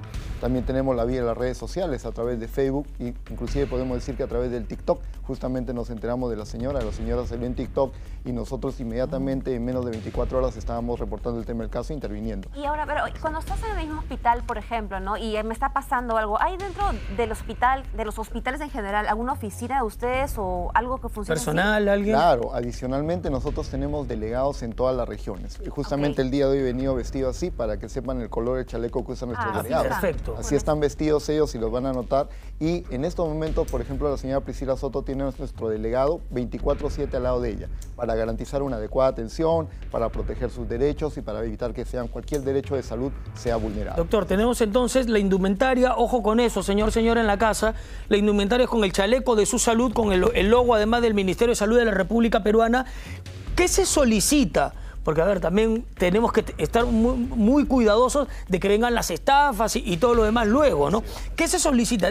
Dinero se intuye de que absolutamente nada. Pero ¿qué requisitos hay? Detalles del hospital donde estoy, enfermedad, ¿qué- ¿qué Su concretamente? salud tiene el compromiso misional de evitar la vulneración de los derechos en la atención a los servicios de salud a todos los ciudadanos que habitan en nuestro territorio nacional, desde todos lados, y por eso tenemos delegados como tal. La solicitud sencillamente es de identificación, su número de DNI y que nos reporte los detalles. E inmediatamente los delegados se apersonan, porque es un tema presencial. ¿Y para qué nos apersonamos? Para que nos den la autorización de acceso a la historia clínica. Porque recuerden que el acceso a la historia clínica es un tema sumamente por ley que solamente pertenece al paciente o en este caso a la madre del paciente. En este caso la señora Priscila Soto ya nos dio la autorización y con eso ya iniciamos todo el proceso de investigaciones. No tenemos que solicitar nada a cambio. Inclusive ayer me hice presente directamente con la señora Priscila Bueno. y se Ah, presente la solidaridad Ujú. vía al BEBE. También conversé con las autoridades institucionales que han dado todas las facilidades para que se inicie el proceso de investigación, pero sobre todo el acompañamiento. Miren qué importante es estar al lado de la señora. Y nuestro delegado esté en ese continuo Y acompañamiento. por ejemplo, en este caso, ¿no? Que, que es una madre que, que está con toda la atención de una noticia muy dura que le han dado. Entonces, en ese caso, por ejemplo, como cualquier paciente, puede pedir que, que uno de ustedes se acerque hacia donde está el paciente para que le ayuden a comprender qué está pasando. Por el medio por el consentimiento, ¿no? Por eso firma esta cosa que no sabe Claro. qué es. Toda persona, todo- toda persona que se esté teniendo los servicios y que sienta temor o vulneración de sus derechos puede comunicarse inmediatamente con nosotros. Si bien es cierto, hay canales, como los he mostrado, inclusive tenemos un WhatsApp que es el 990-443-390, eh, o directamente con los delegados, porque hay lugares donde no tienes un teléfono, tienes un WhatsApp, directamente nosotros nos apersonamos. Por eso es que, inclusive como superintendente nacional, recientemente, tengo recientemente un mes y un poco más, eh, siempre digo hay que dar el ejemplo. Entonces yo personalmente, en lo posible, trato de apersonarme y estar cerca porque nuestros delegados justamente son los embajadores, los representantes de esta superintendencia. Doctor, ¿qué consejo en todo caso usted le daría a los pacientes que han estado en una situación como el de la señora que denunciaba esto, que no tenía la mamá, estaba sola? La mamá no le dejaron entrar. Así como ella, hay una gran cantidad de pacientes que de repente es una madre que solamente tiene, a los hijos que no pueden ir, hijos pequeños que no pueden ir, o una persona soltera, o una persona, un adulto mayor que, se, que se encuentra en ese momento donde ha recibido algún diagnóstico, algo que no le ha cerrado bien y dice, esto no me, no me cuadra, creo que estoy eh, viviendo, experimentando algo así. ¿Qué consejo le da? Que se comunique con nosotros. Pero, pero ¿cómo? ¿Empleando con cualquiera de las redes? Si quieren hacer, o sea, pueden utilizar el teléfono, el 113, opción 7. Pueden utilizar el WhatsApp, el 990-43390. Pueden utilizar el correo electrónico, que es atención al usuario arroba susalud.gov.pe las mismas Facebook, redes sociales. Nosotros tenemos en el Facebook de su salud varias denuncias o situaciones que se dan y automáticamente en tiempo real, porque estamos trabajando 24/7, desde la persona que está frente a ustedes hasta todos los trabajadores, estamos pendientes. Si es que no nos dicen, nosotros vamos a, buscarlo. En este caso, por ejemplo, la señora no nos dijo, salió en el TikTok explicando su caso y automáticamente estuvimos ahí. Y no es el único caso, hemos ido al caso de la policía, estamos yendo inmediatamente, trabajamos en tiempo real. En eso no tengan la menor duda que cuentan con su salud. Y además de ello, no solamente intervenimos para evitar que se vulnere el derecho, también si es que ese derecho haya sido vulnerado, iniciamos una investigación para hacer rápidamente también tener resultados y poder eso emitirlos. Una, una preguntita ya para terminar, doctor. Y por ejemplo, también el caso de las citas, porque siempre se dan que le faltan meses para que te den una cita, ¿también le pueden llamar a ustedes para decir, oye, ¿sabes que estoy buscando una cita hace como tres meses y nadie me responde? Efectivamente, para eso ah, también estamos. Inclusive estamos ahorita trabajando, miren, no solamente nosotros llamamos eso intermediación, o sea, estamos trabajando para que se solucione en tiempo real, pero además también tenemos un equipo de gestores en salud que están capacitando a los hospitales para que los procesos mejoren y disminuyan estas colas y disminuyan las citas. Estamos de la mano tratando que la Rectoría del Ministerio de Salud se muy bien, entonces el 113, opción 7. Estamos también el chatbot, también el chatbot de WhatsApp, ahí está el 990-443-390. Y es el chatbot que, obviamente se puede comunicar. O también, o también al personal que esté con la indumentaria que nos ha traído la mañana de hoy el doctor José Elías Cabrejos. ¿Cómo se llama chalequito? Sí, sí, sí. Solamente para ver. Ya para que vean, ¿no? Exactamente ese es el logo que tienen que buscar cuando vayan, ahí están en el hospital. Si necesitan la ayuda de su salud, están presentes. O consultarlo de repente a los propios enfermeros, ¿no? Por favor, necesito hablar con la persona que, que, lo traiga. Muchísimas gracias al doctor José Elías Cabrejos Paredes, Superintendente Nacional de Salud, por estar con nosotros y darnos esta importante información. Mari Calixto, ¿tienes más? Gracias por su presencia. Son las 8.22. Me muevo un poquito porque les quiero comentar algo que también es importante. Estoy seguro que a usted le va a interesar saberlo en casa, porque si es que tú quieres, por ejemplo, sacarte esas horribles ojeras, bolsas, la línea de expresión, te recomiendo esta crema que es espectacular. Se llama Next Crema de Ojos. Es súper fácil. La aplicas alrededor de tus ojos y en pocos minutos esta crema logra desaparecer las ojeras, las bolsas y esas feas líneas de tu rostro. Puedes obtener una piel tensa, sin bolsas y sin ojeras. Compruébalo tú misma con Next Crema de Ojos. Muy bien, son las 8 y 22. ¿Qué se viene más adelante en su edición matinal? Un ollita común lleva días sin eh, atender porque se han quedado sin gas doméstico. Para este y más detalle nos tiene un adelanto Rosa María Cabrera que está con todas las señoras a quien desde ya le mandamos un abrazo tremendo. Rosa, bienvenida. ¿Cómo estás, Julio? ¿Qué tal? Muy buenos días. Preocupados nos sentimos todos los integrantes de esta ollita común en Pachacútec, Ventanilla. Estamos en la olla La Luz de Sol y Mar y lamentablemente estamos viendo cómo las ollas están vacías. No se puede cocinar, no hay gas lamentablemente y lo que están pidiendo muchas de estas personas es que el personal de Cálida pueda reconsiderar la multa que le están colocando. Multas exorbitantes entre 10 mil a 15 mil soles y que obviamente les afecta sus bolsillos, dinero que ellos no tienen. Julio, vamos a regresar con ese drama de todas las personas que siguen llegando aquí el día de hoy para hacer su denuncia en Matinal, porque Matinal sí resuelve. Ya regresamos con esto y con mucho más, compañeros. Muy bien, Rosita, regresamos contigo más adelante, pero a esta hora, 8.23, tenemos información en vivo. Tenemos este, esta información que llega desde La Molina y llegó nuestro WhatsApp aquí en la edición matinal. Y es que lo que sucede es que hay una joven con diversas dolencias que vive en la calle con esta caja, con estas bolsas. eh, y en realidad ella está solamente acompañada de sus mascotas, no tiene familiares. Talía Galvez ha llegado hacia La Molina para que nos pueda comentar exactamente qué está pasando y qué se necesita, cómo podemos ayudar. Talía, buen día. Chicos, miren, esta es la situación precaria en la que está viviendo esta joven a quien ven en pantallas. Pero primero quiero enseñarles el estado tan crítico. Literalmente la joven está haciendo sus necesidades básicas en este vacín, como ven aquí en pantallas. Ella ha sido desalojada por su propia madre y su hermana de su vivienda, que está justo al frente y en breve vamos a ir hacia esa vivienda para también tener la versión de su mamá y de su hermana. Pero primero quiero contarles un poco más del desalojo que hace una semana esta joven con quien conversaremos también está viviendo. Ella es Shirley Castellano. Buenos días Shirley, ¿cómo estás? Ahora sí. Tú comentabas de que estás durmiendo en estas condiciones. ¿Qué es lo que ha pasado, Shirley? ¿Cuáles han sido las razones por las que eh, te encuentras? Miren, miren, como pueden ver y por favor observen, miren, está durmiendo prácticamente eh, con algunos cartones, vemos también, y con plástico. ¿Qué es lo que ha pasado, Shirley? Eh, simplemente, buenos días, señorita, buenos días a todos. Eh, simplemente mi mamá, eh, ella quiere des- desaparecerme como de lugar para no tomar mi posesión como heredera de mis dos propiedades que están en la Molina, tanto de mi casa como de mi departamento. Ya me hacen denuncias fraudulentas, en el cual me amedrenta y estuve eh, una propiedad alquilada en ATE automáticamente eh, con contacto con mi mamá, ¿sabes qué? Bótala así, para que sea... O sea, te, te- te sacaron de la casa y De mira, casa. y ahora vives bajo la limosna, y eso es lo que nos comen, limosna de los vecinos de acá, de la zona. Y miren, por ejemplo, podemos ver y observen por favor aquí en pantallas de que también te están trayendo comida Me ahora. están trayendo comida los vecinos, lógicamente para mí, para mis tres gatitos y para mi perrito.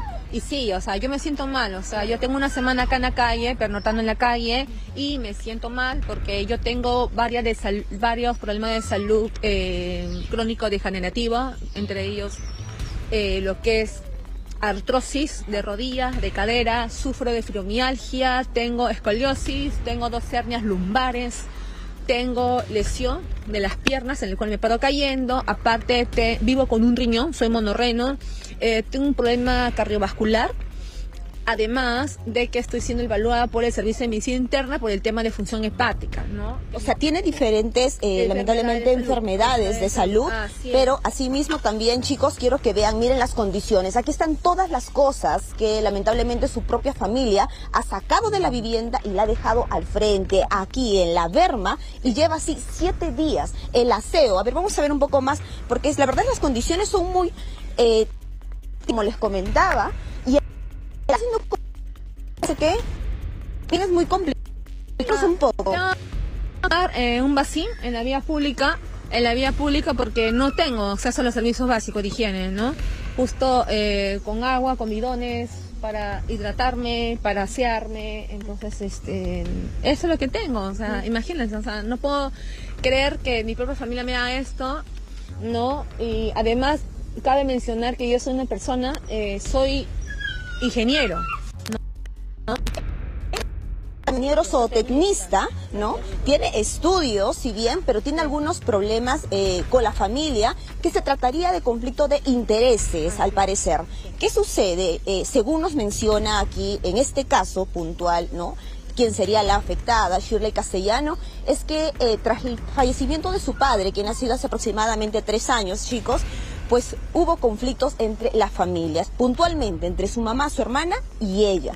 A partir de esa fecha es que a ti te correspondería parte de la herencia que tu padre habría dejado. Claro. Sin embargo, ellas se rehusan a darte eh, lo que te corresponde. Así es, eh, ya la sucesión intestada de heredero lógicamente se hizo porque no mi papá no dejó herencia, porque falleció muy joven por el tema de la COVID, y automáticamente la que, la que está manejando todo el tema eh, monetario de ingresos por concepto de alquiler de una pro- otra propiedad que se encuentra ubicada en la Loma de la Molina, la maneja mi hermana y dice no, que es para mi mamá, para mi mamá, para mi mamá. Cuando yo estaba viviendo con ambas, simplemente era alcoholismo, tiene un problema con el alcohol, compulsivo, agresiones. ¿Y has eh, sufrido en algún momento alguna agresión asumo, creo yo que psicológica, pero física, también. También, sí. Y mi mamá, o sea, pa- mi mamá ha normalizado el que si le da sus arranques, me golpeaba, me empujaba, me pateaba. Esto ya viene de años, me comentaba. viene de años, desde mi infancia, ¿no? Inclusive, eh, justo me he reencontrado con unas amistades que no vengo años, vecinos, ¿no? Nunca intentó llegar a algún acuerdo Yo para le poder... dije- yo le justo había hablado con un- una amistad de mi papá, eh, muy cercano, un ingeniero, y había dicho, si no, si hay problemas, ¿sabes qué? Lo, lo que tienen que hacer es que cada uno tome su parte, ¿no? Ya cada uno arriesga su vida, su manera, pero mi hermana se opone, no, es que para mi mamita, ¿por qué? Porque mi hermana simplemente no, es que nunca... Ella nunca ha tomado las riendas de su vida, siempre ha dependido de la manutención de mi papá. Es más, eh, justo antes del fallecimiento de mi padre, yo estoy viviendo en esta domicilio con mi hermana. Mi papá dijo, bueno, no lo voy a cobrar alquiler, pero ella nunca, yo pagaba los servicios básicos, o sea, me encargaba de todo. Ella lo más preocupante acá, Shirley, es tu situación, tus, condiciones. situación. Si bien y nos menciona ella de que se ha sido diagnosticada como persona con depresión y ansiedad, a ello se suma de la falta de alimentación que tiene ya hace unos días y que los vecinos justamente, y aquí vamos a conversar con uno de ellos, es quien nos menciona Buenos días, Cristian. Aquí tenemos un grupo de vecinos, eh, compañeros, quienes nos mencionan de que está dándole pues limosna, así, tal cual a la joven para que pueda sostenerse estos días. Claro, literalmente tú lo has dicho, bueno, ella se encuentra acá desde el viernes, acá está en la Interpere con todas sus cositas y bueno, acá un grupo de vecinos hemos venido apoyarle, darle un apoyo este moral, no darle víveres, ¿no? Para que pueda salir adelante. Y ahora, esa es la casa, y ahí quiero que por favor puedan observar, la casa eh, de dos pisos, la blanca con, con, con marrón, es donde eh, vive la mamá y la hermana de Shirley, quien, quienes las han desalojado. Vamos a ir ahora en breve y vamos a cruzar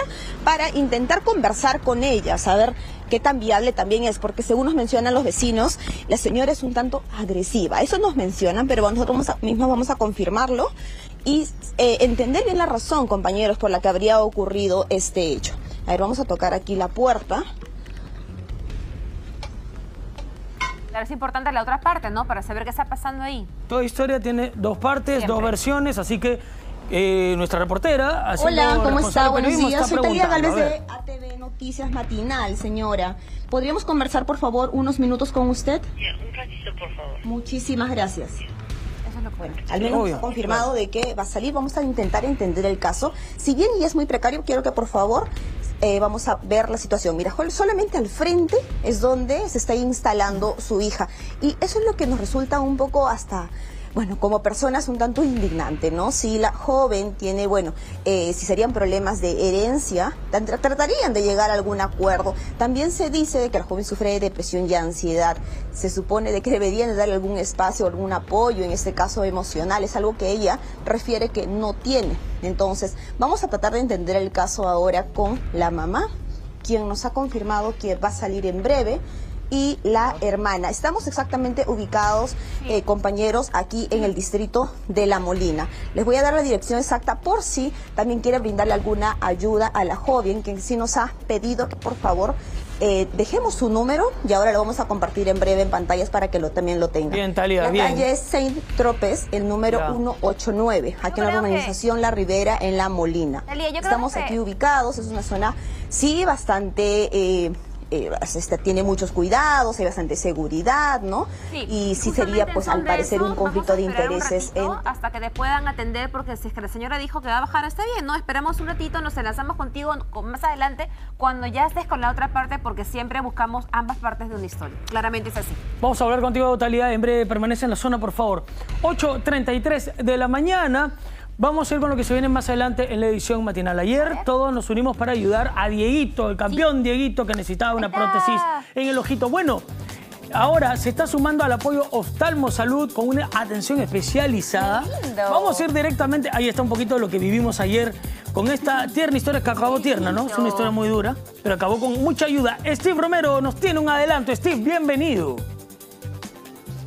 Julio Mari, ¿cómo están? 8.33 de la mañana y hemos llegado hasta Oftalmo Salud, porque la historia, la muy bonita historia de nuestro amigo Dieguito continúa y en este caso ya empezamos con sus evaluaciones a la vista. Como recordamos, Diego necesita la ayuda de muchas personas y Oftalmo Salud se ha sumado a esta gran campaña. Y más adelante tendremos todos los detalles, con incluso la evaluación de la doctora para que nos diga en qué estado está Dieguito y nos cuente qué solución tendrá nuestro gran amigo. Y todo lo viviremos aquí en ATV Noticias, edición matinal.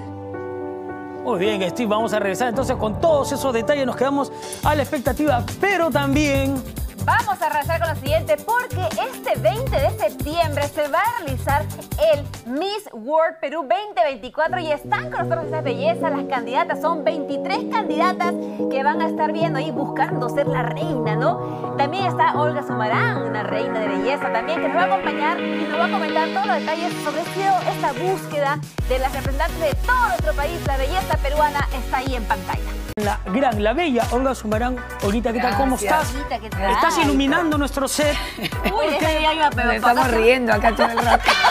Más de lo que está iluminado. ¿Pero por qué, Marica Listo? ¿Por qué? ¿Por qué? Porque nos traes acá el Miss World Perú, Olguita. Cuéntanos, por favor, de Así es. Te cuento que estoy de directora en esta oportunidad este año y he traído a toda la chica, bueno, aparte, un grupito muy pequeño. 23, ¿verdad? Así es.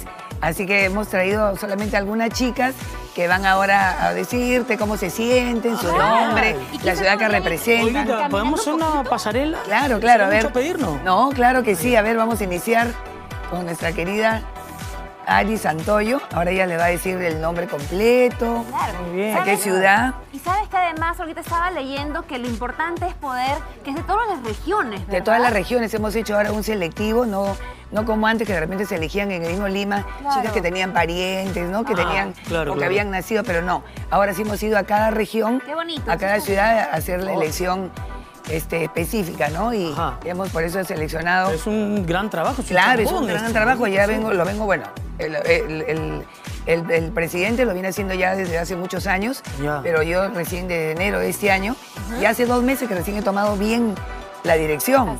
Entonces estamos trabajando, pero contra el tiempo, ¿no? Eh, falta el viernes ese 20 es la final.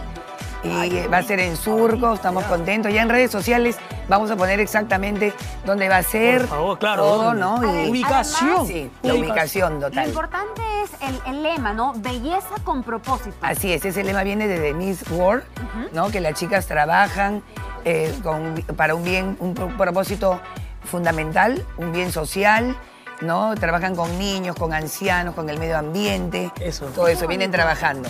Y trabajan de hace muchos años, algunos trabajan desde el colegio, otras que recién de este año han tomado ese trabajo con mucha seriedad, con mucho esfuerzo. Y entonces tengo de diferentes mujeres de diferentes tipos, como Muy somos bien. acá en el Perú. Claro. Altas, bajitas, todo, pero sí guardando siempre los parámetros que pide el Mid-World. Exacto. Que son entre 18 y 26 años y tienen que ser solteras. Ah, Ah, ya. Así dato importante, dato, no menor. importante. Dato no menor. Y Claro. Así lo digo yo, ¿ah? La formación que reciben ellas, ¿no? Que también sé que Mónica Chacón también está, Así es, la ¿verdad? escuela, la escuela de Mónica Chacón les está dando clases de pasarela, de maquillaje, de peinado, de dicción, también tienen clases con otros profesores. Tenemos un staff muy bueno, ¿no? Eso está y bueno. cada chica también se ha preparado en su región. O sea, Eso. cada una viene ya preparándose Qué bonito. desde enero, ¿no? Van preparándose todo y Habría que hablar de eso, ¿no? Sí, sí, queremos hablar con las chicas porque siempre resaltamos Claro. la belleza peruana también. Claro. ¿Puede claro ser? sí. A ver. A ver, claro que sí. Permíteme, por favor. Hola, ¿qué tal? ¿Cómo estás? Nom- nombre y de dónde vienes. Eh, vamos por acá nosotras, perdón. Vamos por acá. Soy Ariana Andrea Santoyo Córdoba, Miss World Lima Oeste 2024. Lima Oeste, aquí tenemos a Daniela Seminario, Miss World Piura. Miss World Piura, Antonella Canelo, región Ica. Región Ica. Hola, ¿qué tal? Yo soy Valentina Rodríguez Causo y soy Miss World Paracas. Para, qué lindo es Paracas, ¿no? Lindo, lindo. No, Paracas, un lugar, es un lugar bellísimo. ¿Cómo estás? Mi nombre es Dayana Campos y represento a la región Lima. Lima, y acá tenemos Buenos días, yo soy Fiorella Vial y represento a Ancash. Ancash. Muy buenos días, soy Silvana Javier y represento Miss World Perú, España. Muy bien. ¿Y aquí? ¿Qué tal? Buenos días, mi nombre es Xiomara Fernández y represento a Junín. Junín. Muy bien, ahí está. Un aplauso para las chicas, por favor. ¡Bravo! está sé de cuánta gente, ¿no? Son, son muchos más, pero me dijeron que tenía que traer pocas chicas y bueno, y también son de las que se le despiertan temprano. Así. Son nuestras favoritas, son nuestras favoritas desde ya. Acá de ustedes, de ATV. Sí, ya yo me di cuenta, ¿no? De Ya, ¿eh? Paracas, Paracas, ¿no? No, Paracas es un lugar lindo. ¿Te gusta Paracas? Yo te he Sí, visto sí. veraneando Exacto. en tus redes, en Paracas. Exactamente, en Paracas. bueno, me Paracas. gustaría ir a Paracas. Todas son hermosas. Todas, Muchísimas así gracias es. por estar acá. Olita, además también, tú eres muy activa en las redes, sí. tu podcast además A también, mi podcast ¿no? Piel de Reina, así que yo soy la doctora Juliana Nieto eh, de Medical Global Care, así que ya saben, Piel de Reina. Pero antes que me vaya, quiero agradecer a mis auspiciadores. A ver. A los principales, por ejemplo, bueno, todos son importantes los médicos. Primero Iván Gutiérrez de la Clínica Flego Center, el doctor Feli Vázquez La Piel de la Clínica Vázquez La Piel, Freddy Castillo, que es el cirujano, mi cirujano, que me va a poner mejor. Freddy Castillo, el doctor Huarte Cruzalé, gran amigo, el doctor Mauricio Miranda de Oftalmo Lima también, el Club Tenis Las Terrazas, Coerental, Artisan Perú Profesional, AIMA Perú, que es una marca de motos, vamos a tener unos premios espectaculares, la marca de vehículos a nivel mundial eléctricos. Beauty Mirello Oficial, que son los pañitos húmedos que están en todas las redes sociales. Beauty Mirello Oficial. Y también quiero agradecer a Peruvian Models, a Peruvian Di- Diamond de Diamantes Oficial. Ya me enredo ya. Ya. Joyas. Peruvian Diamonds Oficial, ¿no? A Fiorella Cofiur. La lista está así. A Fiorella Cofiur. y nada más, porque ya mucho roche. Olita querida, gracias. Gracias, linda. Es espectacular. Ay, muchas gracias. Como a lo mejor no digo mi edad, porque si no, ay, apagón, apagón. La vida es saludable, la vida es saludable. La vida es saludable, totalmente. La vida es otra Muchas gracias. Así que Gracias. pronto en redes sociales vamos a estar dando dónde va a ser, es en Surco. Perfecto. Por El favor, 20 quiero estar en viernes. primera fila ahí. Por favor, vas a ir. Vas a ir Si quiero ir. a votar ahí Ay, por tu sí. candidato. ahora, ahora sí vas a ver.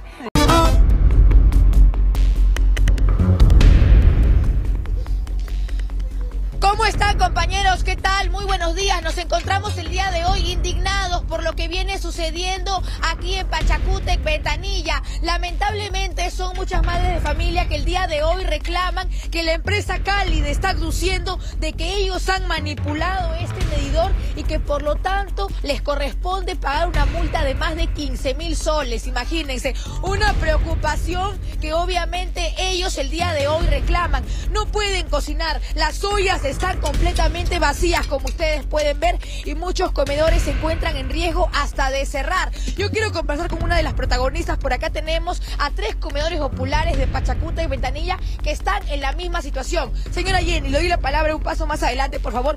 Cuéntenos la problemática que usted está pasando para poder alimentar a las más de 100 familias que usted trabaja todos los días para poder ayudarlas. Bueno, buenos días y agradecer al programa por estar acá escuchándonos. Nuestra protesta es por el tema de Cálida. Cálida es una empresa abusiva que nos está acusando de haber manipulado la caja de Cálida. Nosotros nos han, nos han multado más de 10 mil, 15 mil soles por manipulación. Nosotros somos una olla común en la cual este, cocinaban para más de 100 raciones y no es justo que esta empresa, que es inmensa, nos tenga que venir a, a multar más de 10 mil soles. Ahora, yo quiero explicar algo muy importante, compañeros, para también dar el detalle. Observen, a la señora la están multando con 10 mil soles. Tiene que pagar mensualmente una cuota de 650. Lo que más preocupa es que no es la única persona afectada. Acá también la señora me comentaba, usted, por ejemplo, que también alimenta a más de 80 familias en su comedor popular de aquí de Ventanilla. ¿Y qué es lo que le han dicho cuando ha ido a reclamarle al señor Johnny Yontok de la empresa Cálida? ¿Qué le ha dicho? Señorita, nosotros cuando hemos ido a reclamar en San Borja, el señor Johnny, uno nos ha tratado muy mal y otro aduciendo, yo le digo, ¿por qué se han llevado? Porque se han llevado el medidor cuando nosotros no hemos estado. Se han llevado un medidor y este documento, esta hojita han dejado abajo del comedor, del local, y diciendo, no, este, ¿cómo se que ha habido un robo? Le digo, pero ¿cuál ah, dígame, cuál es el tema del robo? Y cuando nos enseñan, supuestamente dice que ha habido una manipulación cuando no ha habido nada. Y Ni siquiera, lo peor de todo, compañeros, es que ni siquiera la señora ha estado presente. Lo único que han hecho es de frente venir, decir, bueno, este medidor ha sido manipulado, me lo llevo. Y por lo tanto ahora tienen que pagar los 15 mil soles. El señor también acá está mostrando, miren, observen para que hablemos con pruebas. Son 14 mil soles de deuda que le están cobrando al señor que tiene acá la olla común que estamos mostrando el día de hoy, ¿no? Que es la luz del sol y mar. Y el señor también tiene algo que decir. ¿Cuál es su queja cálida cuando usted ha ido también a presentar esta denuncia? Así es, señorita, totalmente indignado por el actor de Cálida por haberse llevado eh, el medidor de esta olla común. Así es, señorita de ATV. Estamos totalmente preocupados e indignados por este maltrato de Cálida y pedimos justicia, señores. Ahora vamos a ingresar también con la señora, por favor acompáñeme al comedor un poquito para que vean la situación en la que están. Qué lamentable, Julio Mari, es encontrar lo siguiente. Miren cómo están las ollas abandonadas. Ya prácticamente ellos están cocinando con un balón de gas. Tienen que utilizar este balón que cuesta aproximadamente como 50 soles y que al mes prácticamente están gastando hasta 400 soles porque ya no tienen el gas de cálida. ¿Cuál es tu pedido? Gracias, Rosa, por traernos esta historia que es tremenda, evidentemente. Vamos a permanecer, por favor, en este lugar y siempre llevarle ayuda a justamente a estas personas que son las que tanto lo necesitan. Es Mari. Que no pueden funcionar, no se pueden alimentar tantas familias, ¿no? De eso, Eso. se basa la ollita común. Gracias por la información. Son las 9 y 8. Más información en vivo. Estamos con Steve Romero, justamente estamos con un caso que nos ha conmovido a todos. Steve, estamos contigo. Dieguito. ¿Qué tal, Mari? ¿Cómo estás? 9 y 8 de la mañana. Hasta Oftalmosalud, empresa que hoy nos va a ayudar con la evaluación del gran Dieguito, como recordamos, lo conocimos en la iglesia de Santa Rosa y él necesita evaluación en la vista y posiblemente una cirugía. Para eso, la doctora Elisa Yagui, que es médico oftalmóloga de Oftalmosalud, que tiene una subespecialidad en oculoplastía, nos va a contar qué es lo que ha detallado la evaluación que le viene realizando a Dieguito. Doctora, muy buenos días. Hola, buenos días con todos. Gracias por venir Eh, bueno, tengo el gusto de conocer aquí a Dieguito y a su mami. Eh, conocí ya el caso. Eh, gracias por consultarnos sobre qué se puede hacer para ayudarle. Pues miren, eh, Dieguito eh, tiene un problema que se llama anoftalmia, o sea, él ha nacido sin ojito del izquierdo, ¿sí? Eh, lo bueno de este caso es que su ojo derecho ve perfectamente, ¿no? Es un Esa es la primera noticia. Él ve muy bien en el ojito que sí tiene. un ojito sin medida, este, ve perfecto, ¿no? El ojo derecho es aparentemente sanito. Acá en Oftalmosalud le vamos a ayudar para hacer una evaluación completa en el ojo sano, ¿no? En el ojo derecho, para que eh, estemos bien seguros de que ese ojito no tiene ninguna malformación, ¿no? Que esté sano. Entonces vamos a pasar por una evaluación oftalmológica pediátrica del ojito derecho para eh, revisarlo perfectamente por dentro y por fuera para que eh, hagamos una medida incluso para estar bien seguros de que ese ojo siempre va a ver bien. Ahora, doctora, nosotros veíamos que en el ojito izquierdo él tenía un aparatito que salía como una pestañita blanca y se trata de esto.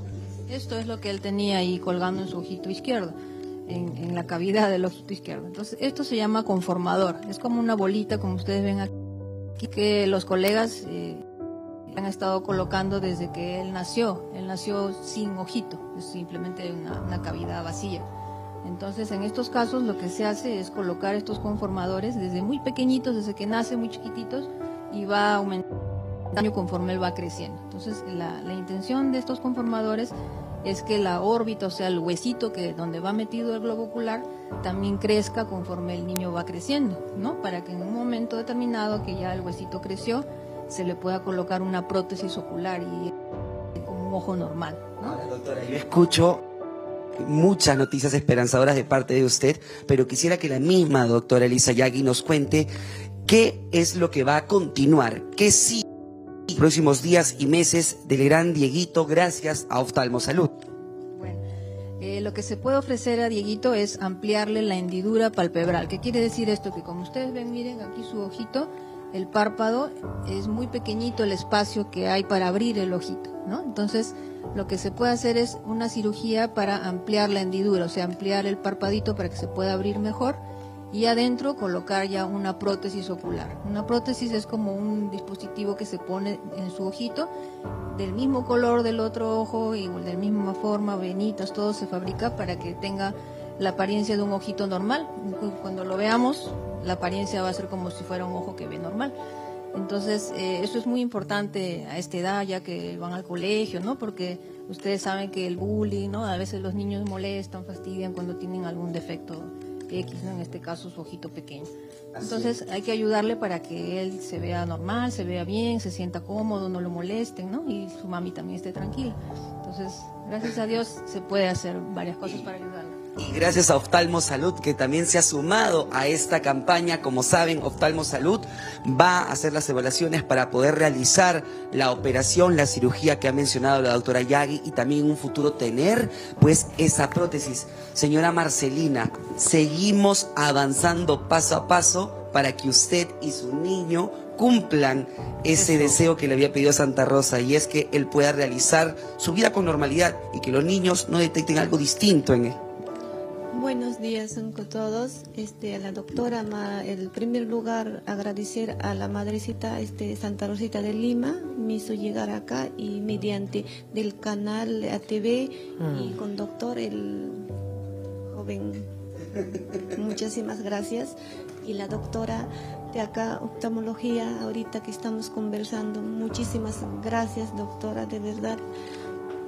Optamos salud. A veces no soy mucho de pronunciar como esto. No, No, está tranquila, perfecto, está señora bien. Marcelina. Y la verdad que yo estoy bien agradecida con el- la clínica que me va a apoyar. Ya. De verdad, para la clínica oftalmología, yo quiero que Dios le bendiga de verdad por su apoyo por mi hijito. Muchísimas gracias. No tengo más palabras. De verdad me siento alegre por mi hijito. Qué bueno, doña Dieguito. Marcelina, y con esta imagen aquí con doña Marcelina, con Dieguito, con la doctora Yagi y Oftalmo Salud, vamos a volver a estudios recordándole a la gente que su ayuda es, ha sido y seguirá siendo muy valiosa. Y aquí todos seguimos uniendo un solo puño para que Dieguito pueda estar con la mejor de la salud ocular y también en general. Pero hoy seguimos colaborando para que un niño como Dieguito y su familia en general estén muy contentos, compañeros. Adelante con ustedes. Sí, Steve Romero, y en realidad todo esto empezó contigo, Steve, porque fuiste tú quien, quien vio ahí en la esquinita a doña Marcelina, ¿no? Y salimos en vivo. Justo ayer la señora nos decía, estoy tan agradecida con el señor Claro. Romero, con Steve. Gracias a todos ustedes también en sus casas porque han podido apoyar la causa a la señora Marcelina para que se llegue a operar. Y a Salud también, gracias por estarse presente. Muchísimas gracias y recuerden que Matinal resuelve y eso es lo bonito, Matinal resuelve. Muy bien, 9 y 14 de la mañana, señora Mari Calixtro. ¿Qué, qué, qué olor, qué olores tan ricos? Esa ¿Qué hay? mesita, qué rico huele por acá. Huele, que huele. Caminamos un poquito. Así, el comedor Así, de, así, de, frente. Matinal. De frente. Y ya tenemos acá, estamos junto a Gabriel Grado. ¿Cómo estás, Gabriel? Buenos mi días. hermano, ¿cómo estás? Gabriel, y tú nos vas a contar sobre El Sabor Nos Une. ¿De qué se trata esta feria gastronómica? Precisamente, esta es una feria gastronómica en la cual une varios restaurantes. Ya. Ya. Bueno, no solo varios restaurantes, también une artistas y todo. Y va a estar el 14 de septiembre. A partir de las 9 de la mañana va a haber una gama surtida de varios platos. Por supuesto, vamos a estar nosotros como Nación 1821 ofreciendo lo que es el rol criollo. Exacto. El rol criollo, el, el rol criollazo y, y obviamente y los ma- El rol criollazo. Exacto. ¿Ese qué, qué contiene ese rol? Es un rol de ¿Chaufa, no? takutaku, es un rol de takutaku. Es. Sí, es este de acá, un rol de takutaku que tenemos Súbeme la acá. olla, súbeme la ollita, Un vasito, tírate un vasito, algo. Ahí está, vamos, vamos, vamos a alegrar, vamos a alegrar un poco. Hay que alegrar un poco el, el ambiente, ¿no? Pa, pa. Estoy contento. ya veo, ya veo. Escuchen, entonces, en esta feria gastronómica, en el Parque de la Exposición, 14 de septiembre, van a estar varios restaurantes. ¿Cuántos van a ser en total? Van a ser como 14 restaurantes, estamos hablando de Domo Saltado, estamos hablando de, bueno, Nación 1821, Claro. muchos restaurantes más. Este, que- Este platito, ¿ah? Precisamente nosotros esta es la pollada que vamos a ¿La dar- pollada? Sí, exacto, la pollada de rompe y raja se llama, precisamente haciendo un homenaje a las madres, a sus pujantes, ¿no? Que, que, que- A todas las madres pujantes. Exacto, ¿Eh, exacto. ¿Esto qué es? Eh, La enchilada. Una enchilada que tenemos acá, eso ya es parte de los demás restaurantes. Tenemos este sopa seca con, con, con Oye, carapulcra. trajiste los cuchareables. También cuchareales en postre. En postre, por si acaso. Postre, tenemos allá Ajá, lomo saltado. Hay una gama, pero infinita, infinita. Sobre todo porque este, en este, en este, en este Evento, evento, feria. vamos, a, vamos, a, vamos a ayudar y vamos a. Es para una buena causa. ¿Cuál es el fin? al final? El fin es poder ayudar a los chicos, bueno, de, de, de, de- de los, del hospital este Juan. La clínica San Juan de La Dios. clínica San La Juan de clínica San. Juan de Dios. Y bueno, y tratar de todos hacer un bien común y no solo haciendo, haciendo esto, sino divirtiéndonos también, porque van a haber un montón de artistas, van a haber también este, juegos para los niños. Es Eso. un evento bastante familiar. Gabriel, reiteramos la invitación, por favor, para todo el público televidente. Este es sábado, 14, 14 de septiembre, no se olviden, el sabor nos une. Estamos a partir de las 9 de la mañana brindándoles una gama infinita de platos para que ustedes puedan deleitarse. Además, tienen conciertos musicales, van a estar en el Gutiérrez, algo roto entre varios. Tienen la posibilidad de comer rico, escuchar buena música y, día divertirse. en familia. Eso. Exacto. Es un plan familiar. Muy bien, así que eh, vamos, nos quedamos probando un ratito. Tenemos más para ustedes. Muchas gracias. Suegrita, ¿no se molesta si le pongo una musiquita? Hay No. mucho silencio. No me molesta, pero música buena quiero. Por supuesto.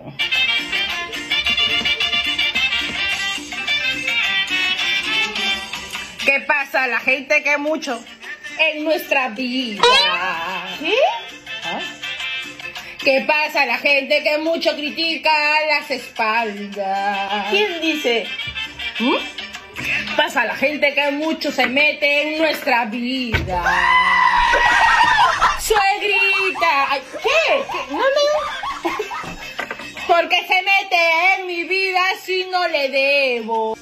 Que lo que pasa que eres ociosa y eres chismosa. ¿Quién habla? Tú eres más ocioso yo. Mejor voy a escuchar la música en mi casa. ¿Y cómo son sus suegras? Pues ya conoces cómo es la mía, pero quiero conocer cómo es la tuya. Así que, escupe, escupe, ¿cómo es esa bruja? Digo, esa respetable señora. Ay, ay, ay, bueno, sale el tema sobre el tapete. La suegra, Mari Calixto, a propósito de Doña Peta, ¿no? Que ha estado, parece que no, no en buenos términos ahora con la pareja de Guerrero. Así dice, pues no, no ¿Qué sé. dice tu ojo clínico? No, bueno, la suegra. se ve un poquito distanciado, Ya. ¿no? Y eso nos lleva al tema a traerlo acá para saber en realidad qué tanto es, si es que hay esa relación tensa con los otros, ¿no? Lo vamos a tocar luego de la pausa comercial, Eso. pero ya están justamente acá en el set con nosotros. Ábreme la toma. Melchor. Ahí está Rocío Marta. Marta. Y está también los chicos, está Leandro, Joan y Brenda, que son una familia de youtubers, unos influencers tremendos que nos van a contar. Así que la ha venido. Leandro con la, con la suegrita. Leandro, cuidado, Leandro, ¿ah? Ya estoy con cuidado. ya. Cuidado, por favor. acá. Ha venido advertido. A la suegra hay que quererla. Que darle siempre su besito en la Al frente a la enemigo suegra. siempre tenerlo cerca. mentira, mentira. Vamos a chicos, se pasa. Bueno, todo esto viene después de la pausa comercial. Ya regresamos en un ratito, pero también regresamos con.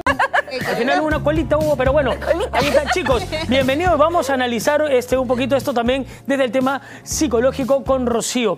Pero, a ver, eh, concretamente, ¿ustedes cómo, cómo les nace hacer estos eh, sketches, estos TikTok, empleando una problemática de repente que siempre se, se ve entre eh, el, el hijo y la suegra? ¿Cómo lo ven ustedes? Por ejemplo, Brenda, contigo. Muchas ¿Cómo gracias estás? Bienvenida. por la invitación. Este, mira, el tema de que nosotros creemos el contenido nació exclusivamente porque nos dijeron, oye, ustedes son bien raros y pensaban que él era mi hijo. porque pensaban, que, era mi hijo. hijo. Ah, porque yo pensaba que era yo estaba parada mirando y ellos se peleaban. Entonces dicen, ay, él es tu hijo. No, yo soy la hija. Entonces, eh, conversando, me dijo, oye, ¿sabes qué? Este, creo que podemos hacer este contenido porque hay gente que se puede identificar mucho con lo que nosotros vivimos, ¿no?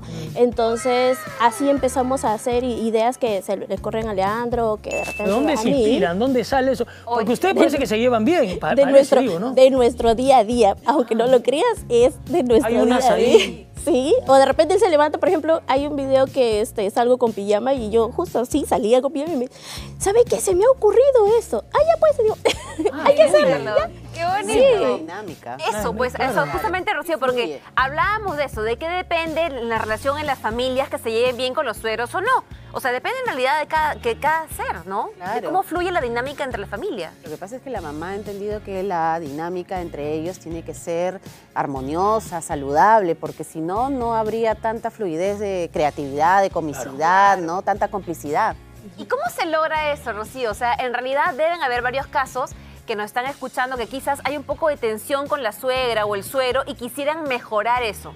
¿Cómo se logra eso? Lo primero es respetar la dinámica de la pareja. O sea, tú puedes ser la madre, pero sí eh, eres intrusiva, quieres meterte en lo que no te corresponde. Si esto eh, necesitas controlarlo, vas a generar un problema en la pareja, ¿no?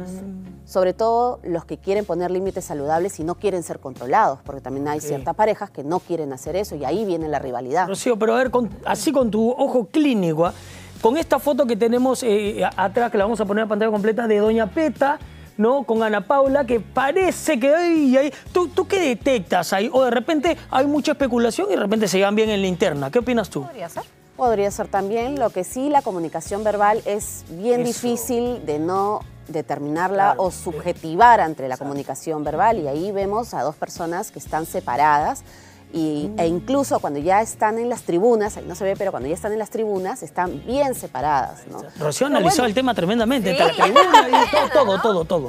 Claro, porque en realidad es algo que se viene hablando desde que inició la relación Pues. con el jugador. O sea, Ana Paula con Paolo han iniciado una relación que aparentemente es muy linda. Tienen hijos, se llevan muy bien. Además, él le ha agradecido a su esposa y también le agradeció, le ha dado terreno a los dos, a las sitio, dos. su sitio Pero cada uno. de eso se trata, ¿no? O sea, darle espacio a cada quien, ¿no? O sea, respetar tanto a la mamá, o sea, a la suegra o el suero, ¿no? Como también a tu familia que estás formando tú, ¿no? ¿Cómo, cómo lo ves tú, por ejemplo? Yo creo que he tenido suerte con, con mi suegra realmente, porque ahí como nos, ven con la química que tenemos los tres, tenemos una energía muy, muy buena, muy chévere, y en los temas serios también hay mucho respeto, que es importante, Claro, ¿no? Cada, cada vez que puede ir de un lado o de otro, pero siempre hay Claro. que esperar a que pase ese momento y luego retomamos en, en nuestra energía, nuestra creatividad normal, y creo que eso es importante. Lo dijo y lo resalto. Inteligente. Sí. Nota.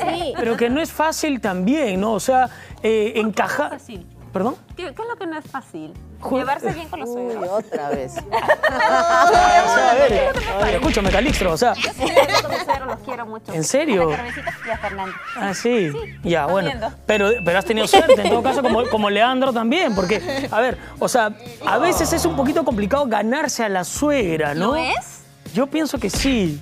Yo pienso que sí. Tú no, ¿no? No, yo no creo eso, porque Ya. todo fluye. Me han tocado cuando- suegras cuando como Doña. Peta, así un poquito con el rostro que no. Así que te no les- la cara así seriecita. En la foto no salimos muy unidos, que digamos, ¿no? ya. Me han tocado en algún momento, por eso lo Sí, digo. ¿Y en qué casos podría ser, Brenda, tú que eres acá la suegris, ¿en qué casos podría ser, por ejemplo, que uno dice, "Mm, tengo un poquito de antipatía, me alejo de esa Ella que lo me cae"? sabe, no sé cómo, pero Mira. ella sabe cuando no es, no sé cómo. Ah, mira. Es que, Hay un bueno, no detector sé, ahí. yo, yo creo mucho en, esas, eh, en eso de las energías, ¿no? Ya. Entonces, eh, ya ha habido casos en los que eh, anteriormente yo ha, ha- ha salido con algunas personas y yo les he, le he dicho, ¿sabes qué, hija? Yo, esa persona, pero no quiere decir que yo no le haya dado la oportunidad de que la persona venga a la casa, ¿no? Ajá, yo le digo, hija, hija, le digo, no me agrada, pero este, que venga, pues, ¿no? O sea, Peor es ¿qué lo puedo también, ¿no? hacer? Es Porque que es que si, es que si a nosotros, personas claro, que sale su hija, entonces las decodifica Mm. y ahí empieza a salir el instinto de ella como mujer inteligente y como madre. Y ahí entonces saca su tú ves, analizas eh, ciertas actitudes por la misma experiencia y las vivencias que tú tienes, Claro. tú puedes evaluar si la persona eh, te mira los ojos de frente o, o- o es muy suelto para poder, eh, para, para poder hablar. Entonces tú dices, bueno, puedo entablar una conversación con una persona, pero si esta persona pues te esquiva, se voltea, yo le digo, hijita, a mí no me parece, pero si tú quieres continuar, bueno. Ya sabes cuál es, pero depende de cada ser humano, porque esa es mi experiencia como Brenda. Las pero madres son cuántas, sabias, ¿ah? pero ¿No? cuántas mujeres, cuántas ahí. mujeres no tienen la misma crianza o no han abierto su, su, su mente, claro. ajá, su mente para poder dar pie a aprender nuevas cosas y escuchar nuevas cosas, porque nosotros tenemos que ir en torno a, a- a la sociedad, a cómo ¿no? está desarrollándose Y en todo. realidad también, la ma- las mamás tienen ese sexto sentido también, ¿no? Que, que, por supuesto que queremos lo mejor para nuestros hijos, ¿no? Por supuesto. Sexto, séptimo. Ya, Lo eso- hacemos con estrategia. Ya, pero, porque pero Le- pero Leandro, escúchame, tu estrategia justamente. ¿Le has ganado tú a Brenda que llevándole chocolatito, la, le vas a comer su pollo, a la- su mostrito o no? Ella me planteó una situación, me dijo, no, es que la verdad yo no salgo mucho de casa, no, no, no tengo tanta facilidad, me gusta estar en mi casa, mi mamá se siente tranquila que esté en mi casa. Entonces dije, no hay problema, yo, Yo me puedo ir a tu mudo. casa, yo puedo hablar con ella, Ah, tener una dinámica. y Tuviste esa apertura de ir a Lo conversar. Claro, importante y es eso- no perder tu personalidad, no Eso. perder, no amoldarte a un sistema que de repente no estás tan de acuerdo, porque. Leandro se amoldó porque le gustó la dinámica familiar, pero si no te gusta, si te sientes inconforme, si, si sientes que hay... Que no, un- y, si, y si no cuadra, entonces... Claro, ¿qué si no cuadra, esa es una señal de alerta. Es una señal de alerta importante de que tú no vas a cambiar la dinámica familiar porque llegas a la familia. ¿Ah, no? No, ¿Pero- ¿Por qué hago, si, qué hago si no me pasa la suegra, No Rocío? te quiere. Pero es que ya en interno vamos a conversar. ¿Por qué no te quiere? Yo no creo que no te Creo quiera que seas toda un- una cita de Creo que necesitas una Pero sesión. te- Sí, una sesión, ¿no? Lo que pasa es que no creo que tú no gustes por, por, por algo en particular. O sea. ¿qué es, ¿qué es lo que ellas están viendo que no les agrada? Sí, pues. Que Las dejas muy tarde. De repente. De repente. Me o pasa sea, una media horita de la. Pero ¿qué es lo que dicen ellas? ¿Tú le has preguntado a ellas por qué no Sí, te quieren? Me dicen, me dicen, no sé, mi mamá no. Ay, pues también. ay, no, ¿quién? Eso es una señal alerta para ti también, Julio, Sí, ¿no? porque si te dicen no sé, mi mamá no, ¿qué- quién sabe, entonces no conoce a su madre. La comunicación es diferente. pues. De palmas digitales, por favor. Bueno, vamos a ver, vamos a ver, chicas y chicos. Hay un videito interesante, luego lo comentamos aquí en Piso. Él te ama, pero le caes mal a sus papás. Mamacita, yo te recomiendo que seas muy sincera. Te le acercas a tu suegra y le dices, ese niño que ve usted ahí ya creció. Dile, ya no come papillas, ya no come Gerber. Dile, ahora come cucharadas y cucharadas de todo esto. Dile, suegrita, le voy a ser honesta con esta situación. Ni el calzón se me mete tanto como usted en mi relación. Dile, pero bueno, bendición. Estado civil. Oiga, Ingobernable, Lo importante es que la suegra sepa, huela, perciba que tú quieres a su hija o a su hijo. Claro. Eso es lo más importante en la vida. Si a partir de eso hay otros problemas, y el problema es de la suegra. Sí, ¿no? O de la dinámica familiar que hay es entre el hijo, la hija y la suegra. Porque si ustedes se dan cuenta, estamos acá conversando de suegra y nuera. Pero pocas veces se habla de suegro y yerno. Ah, mira. Normalmente la dinámica, la estadística se marca más entre suegra y nuera. ¿Por qué? Porque hay este efecto de la rivalización, de que yo controlo a mi hijo, mi hijo está criado de esta manera, mi hijo está criado de una forma en que él no va a cambiar y, y por último tú lo tienes que atender. Ahí hay un tufillo de machismo también. Ah, mira, mira, es importante. Y en el caso de ustedes, por ejemplo, Joan, tú tuviste que en algún momento decirle a tu señora madre, mamá, él me gusta y no te meta más, es él, así. No. No, nunca tuve que decirle a mi mamá, no, no te metas, porque ella siempre ha sabido tener un límite para todo. Siempre ha Ah. respetado las decisiones que yo he tomado y siempre yo busco consultarle a ella porque siempre ha sabido darme un buen consejo. Entonces, a veces ella me ha dicho, bueno, si te quieres equivocar, equivócate. Pero Mm. yo desde un primer momento no sentí que me equivocaba con Leo. Entonces, ella se sintió muy cómoda. ella, se sintió, ella se sintió muy cómoda con la presencia de Leo porque yo no sentí malicia en él en ningún momento. Entonces, mi mamá tampoco lo sintió. Y por eso todo ha fluido tan bonito como hasta ahora. ¿Qué hubiera pasado, Leandro, si de repente hubiera sentido todo lo contrario? Que te pone obstáculos, que no te deja ingresar. Ajá. ¿Cómo hubiera sido tu conducta? Creo que eso también por la experiencia que tengo con mis papás, sé que los papás tienen miedo, o sea, siempre tienen miedo que le pase, ya sea algo a su hijo en lo laboral, en lo amical, en lo emocional, siempre hay ese miedo. Entonces, eh, como ya lo vi con mis papás, ya sé que ellos han tenido miedo de las cosas que hago, de las cosas que estudio, pero al final han terminado confiando. No vería como un anticuerpo, sino vería una mamá con miedo de que lastimen a su hija. Entonces, Ah, El segundo paso. Es, es demostrarle que no es así. Muy bien, oye, pero hay una, una química estrellita, interesante, ¿ah? Muy- hay una química interesante, entonces ahí desbar- se desbarata un poco eso que la, ge- la gente dice, no, este invierno está más frío que abrazo de suegra. No, ¿no? Acá Leandro, ¿tú de- desmiente eso, hermano? ¿O, Solo o cuando estás de acuerdo? Realmente es, es eso, ¿no? Este, siempre van a querer lo mejor para, para Que a mí me han dado esos abrazos fríos, hermano. Ay, ¿sabes? Pero ese es tu abrazos que no, siento nada. Es que tienes que cambiar tu estrategia. Voy a ves. voy a cambiarlo. Yo creo que nunca pierdas el sentido Mm. de tu conducta, de tu personalidad, de lo que quieres. Muy bien, Nunca claro. lo pierdas, porque si esa es tu esencia, entonces ¿por qué tienes que cambiarla? Exacto. A Nadie excepción que esté algo en particular, que así, cambies. que no están dando bien, ¿no? Yo creo que, es un tema de respeto, básicamente. También, ¿sabes? también. Es un respeto eh, que se tiene hacia también las suegras, los Exacto. suegros. Hay que saber valorar la experiencia que tienen, porque por las puras no te dan los consejos que te dan. Y, Besitos, ¿ah, y no- y nosotros como y nosotros como papás, ¿no? Este, saber respetar. O sea, para mí llegar al- al- a la etapa en que estoy con, con Joan es, ha sido un aprender de todos, porque yo no nací sabiendo que mi hija se iba a equivocar ni nada, pero sí este, pensando en que ella en algún momento va a crecer y que tengo que adaptarme a lo que ella va a vivir, ¿no? Muy bien. Entonces, eso es lo que ha ocurrido ahora. Y si ella se siente feliz y veo que está feliz y, y Rea- y Leandro respeta, entonces. Normal. felices a nuestros hijos lo es ¿No? todo. honestamente. Vamos a ver cómo ser va con, vamos a ver cómo me va con mi otro hijo Eso. nomás.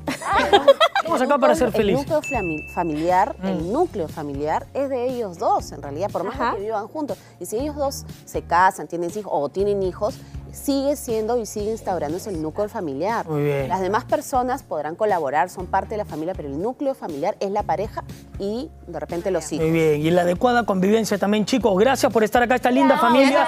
Leandro, ¿dónde los podemos seguir para la gente en que se nuestras redes sociales, bueno, yo soy Logón GR, lo encuentran así en todas las redes. Y Acá como Joan, Joan Flores. Flores o busquen la Peque.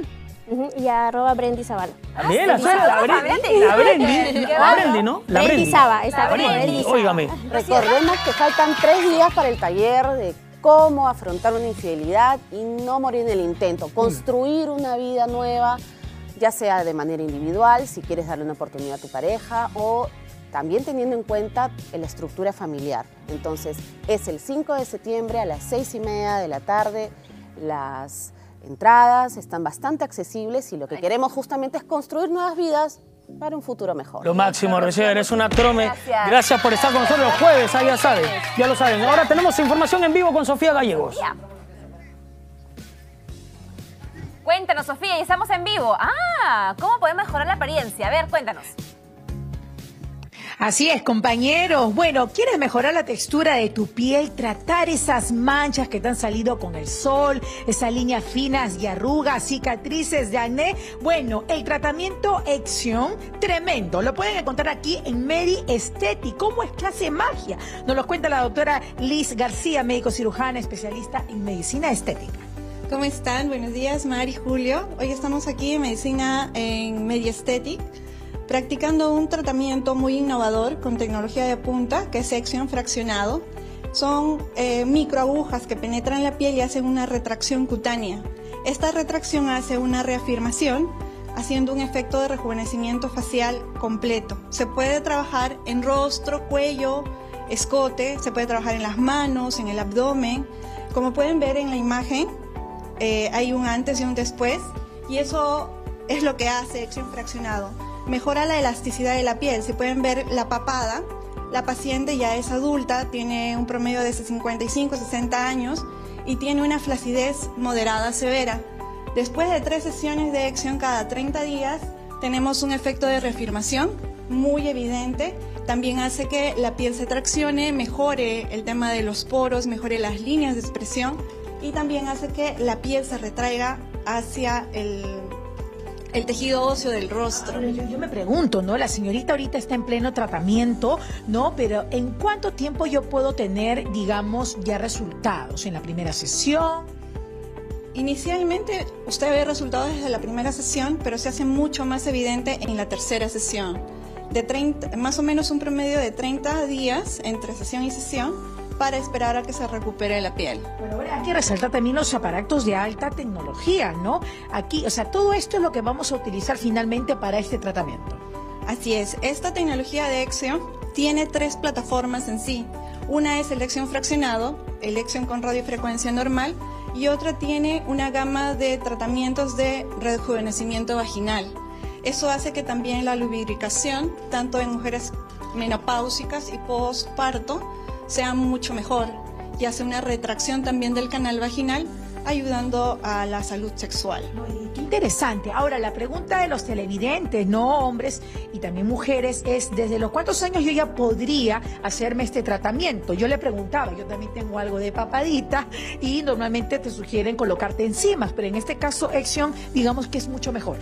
En realidad el tratamiento se puede realizar a partir de los 24 años, cuando ya empieza el proceso de envejecimiento de la piel.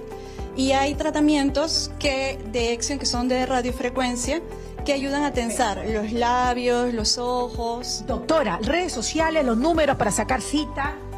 Te cuento que vamos a inaugurar una nueva sede de Mediaesthetic en San Borja el 5 de septiembre. Los esperamos todos. Nos pueden encontrar en redes sociales en mediaesthetic.p. Perfecto, muy bien. Muchísimas gracias, Sofi, por la información. Ahí está. En realidad uno quiere quitarse un par de rayitos, ¿no? Está bien, está bien la alternativa. Sí, ¿no? Está muy bien. Bueno, pero a esta hora aquí en la edición matinal, súbeme la música.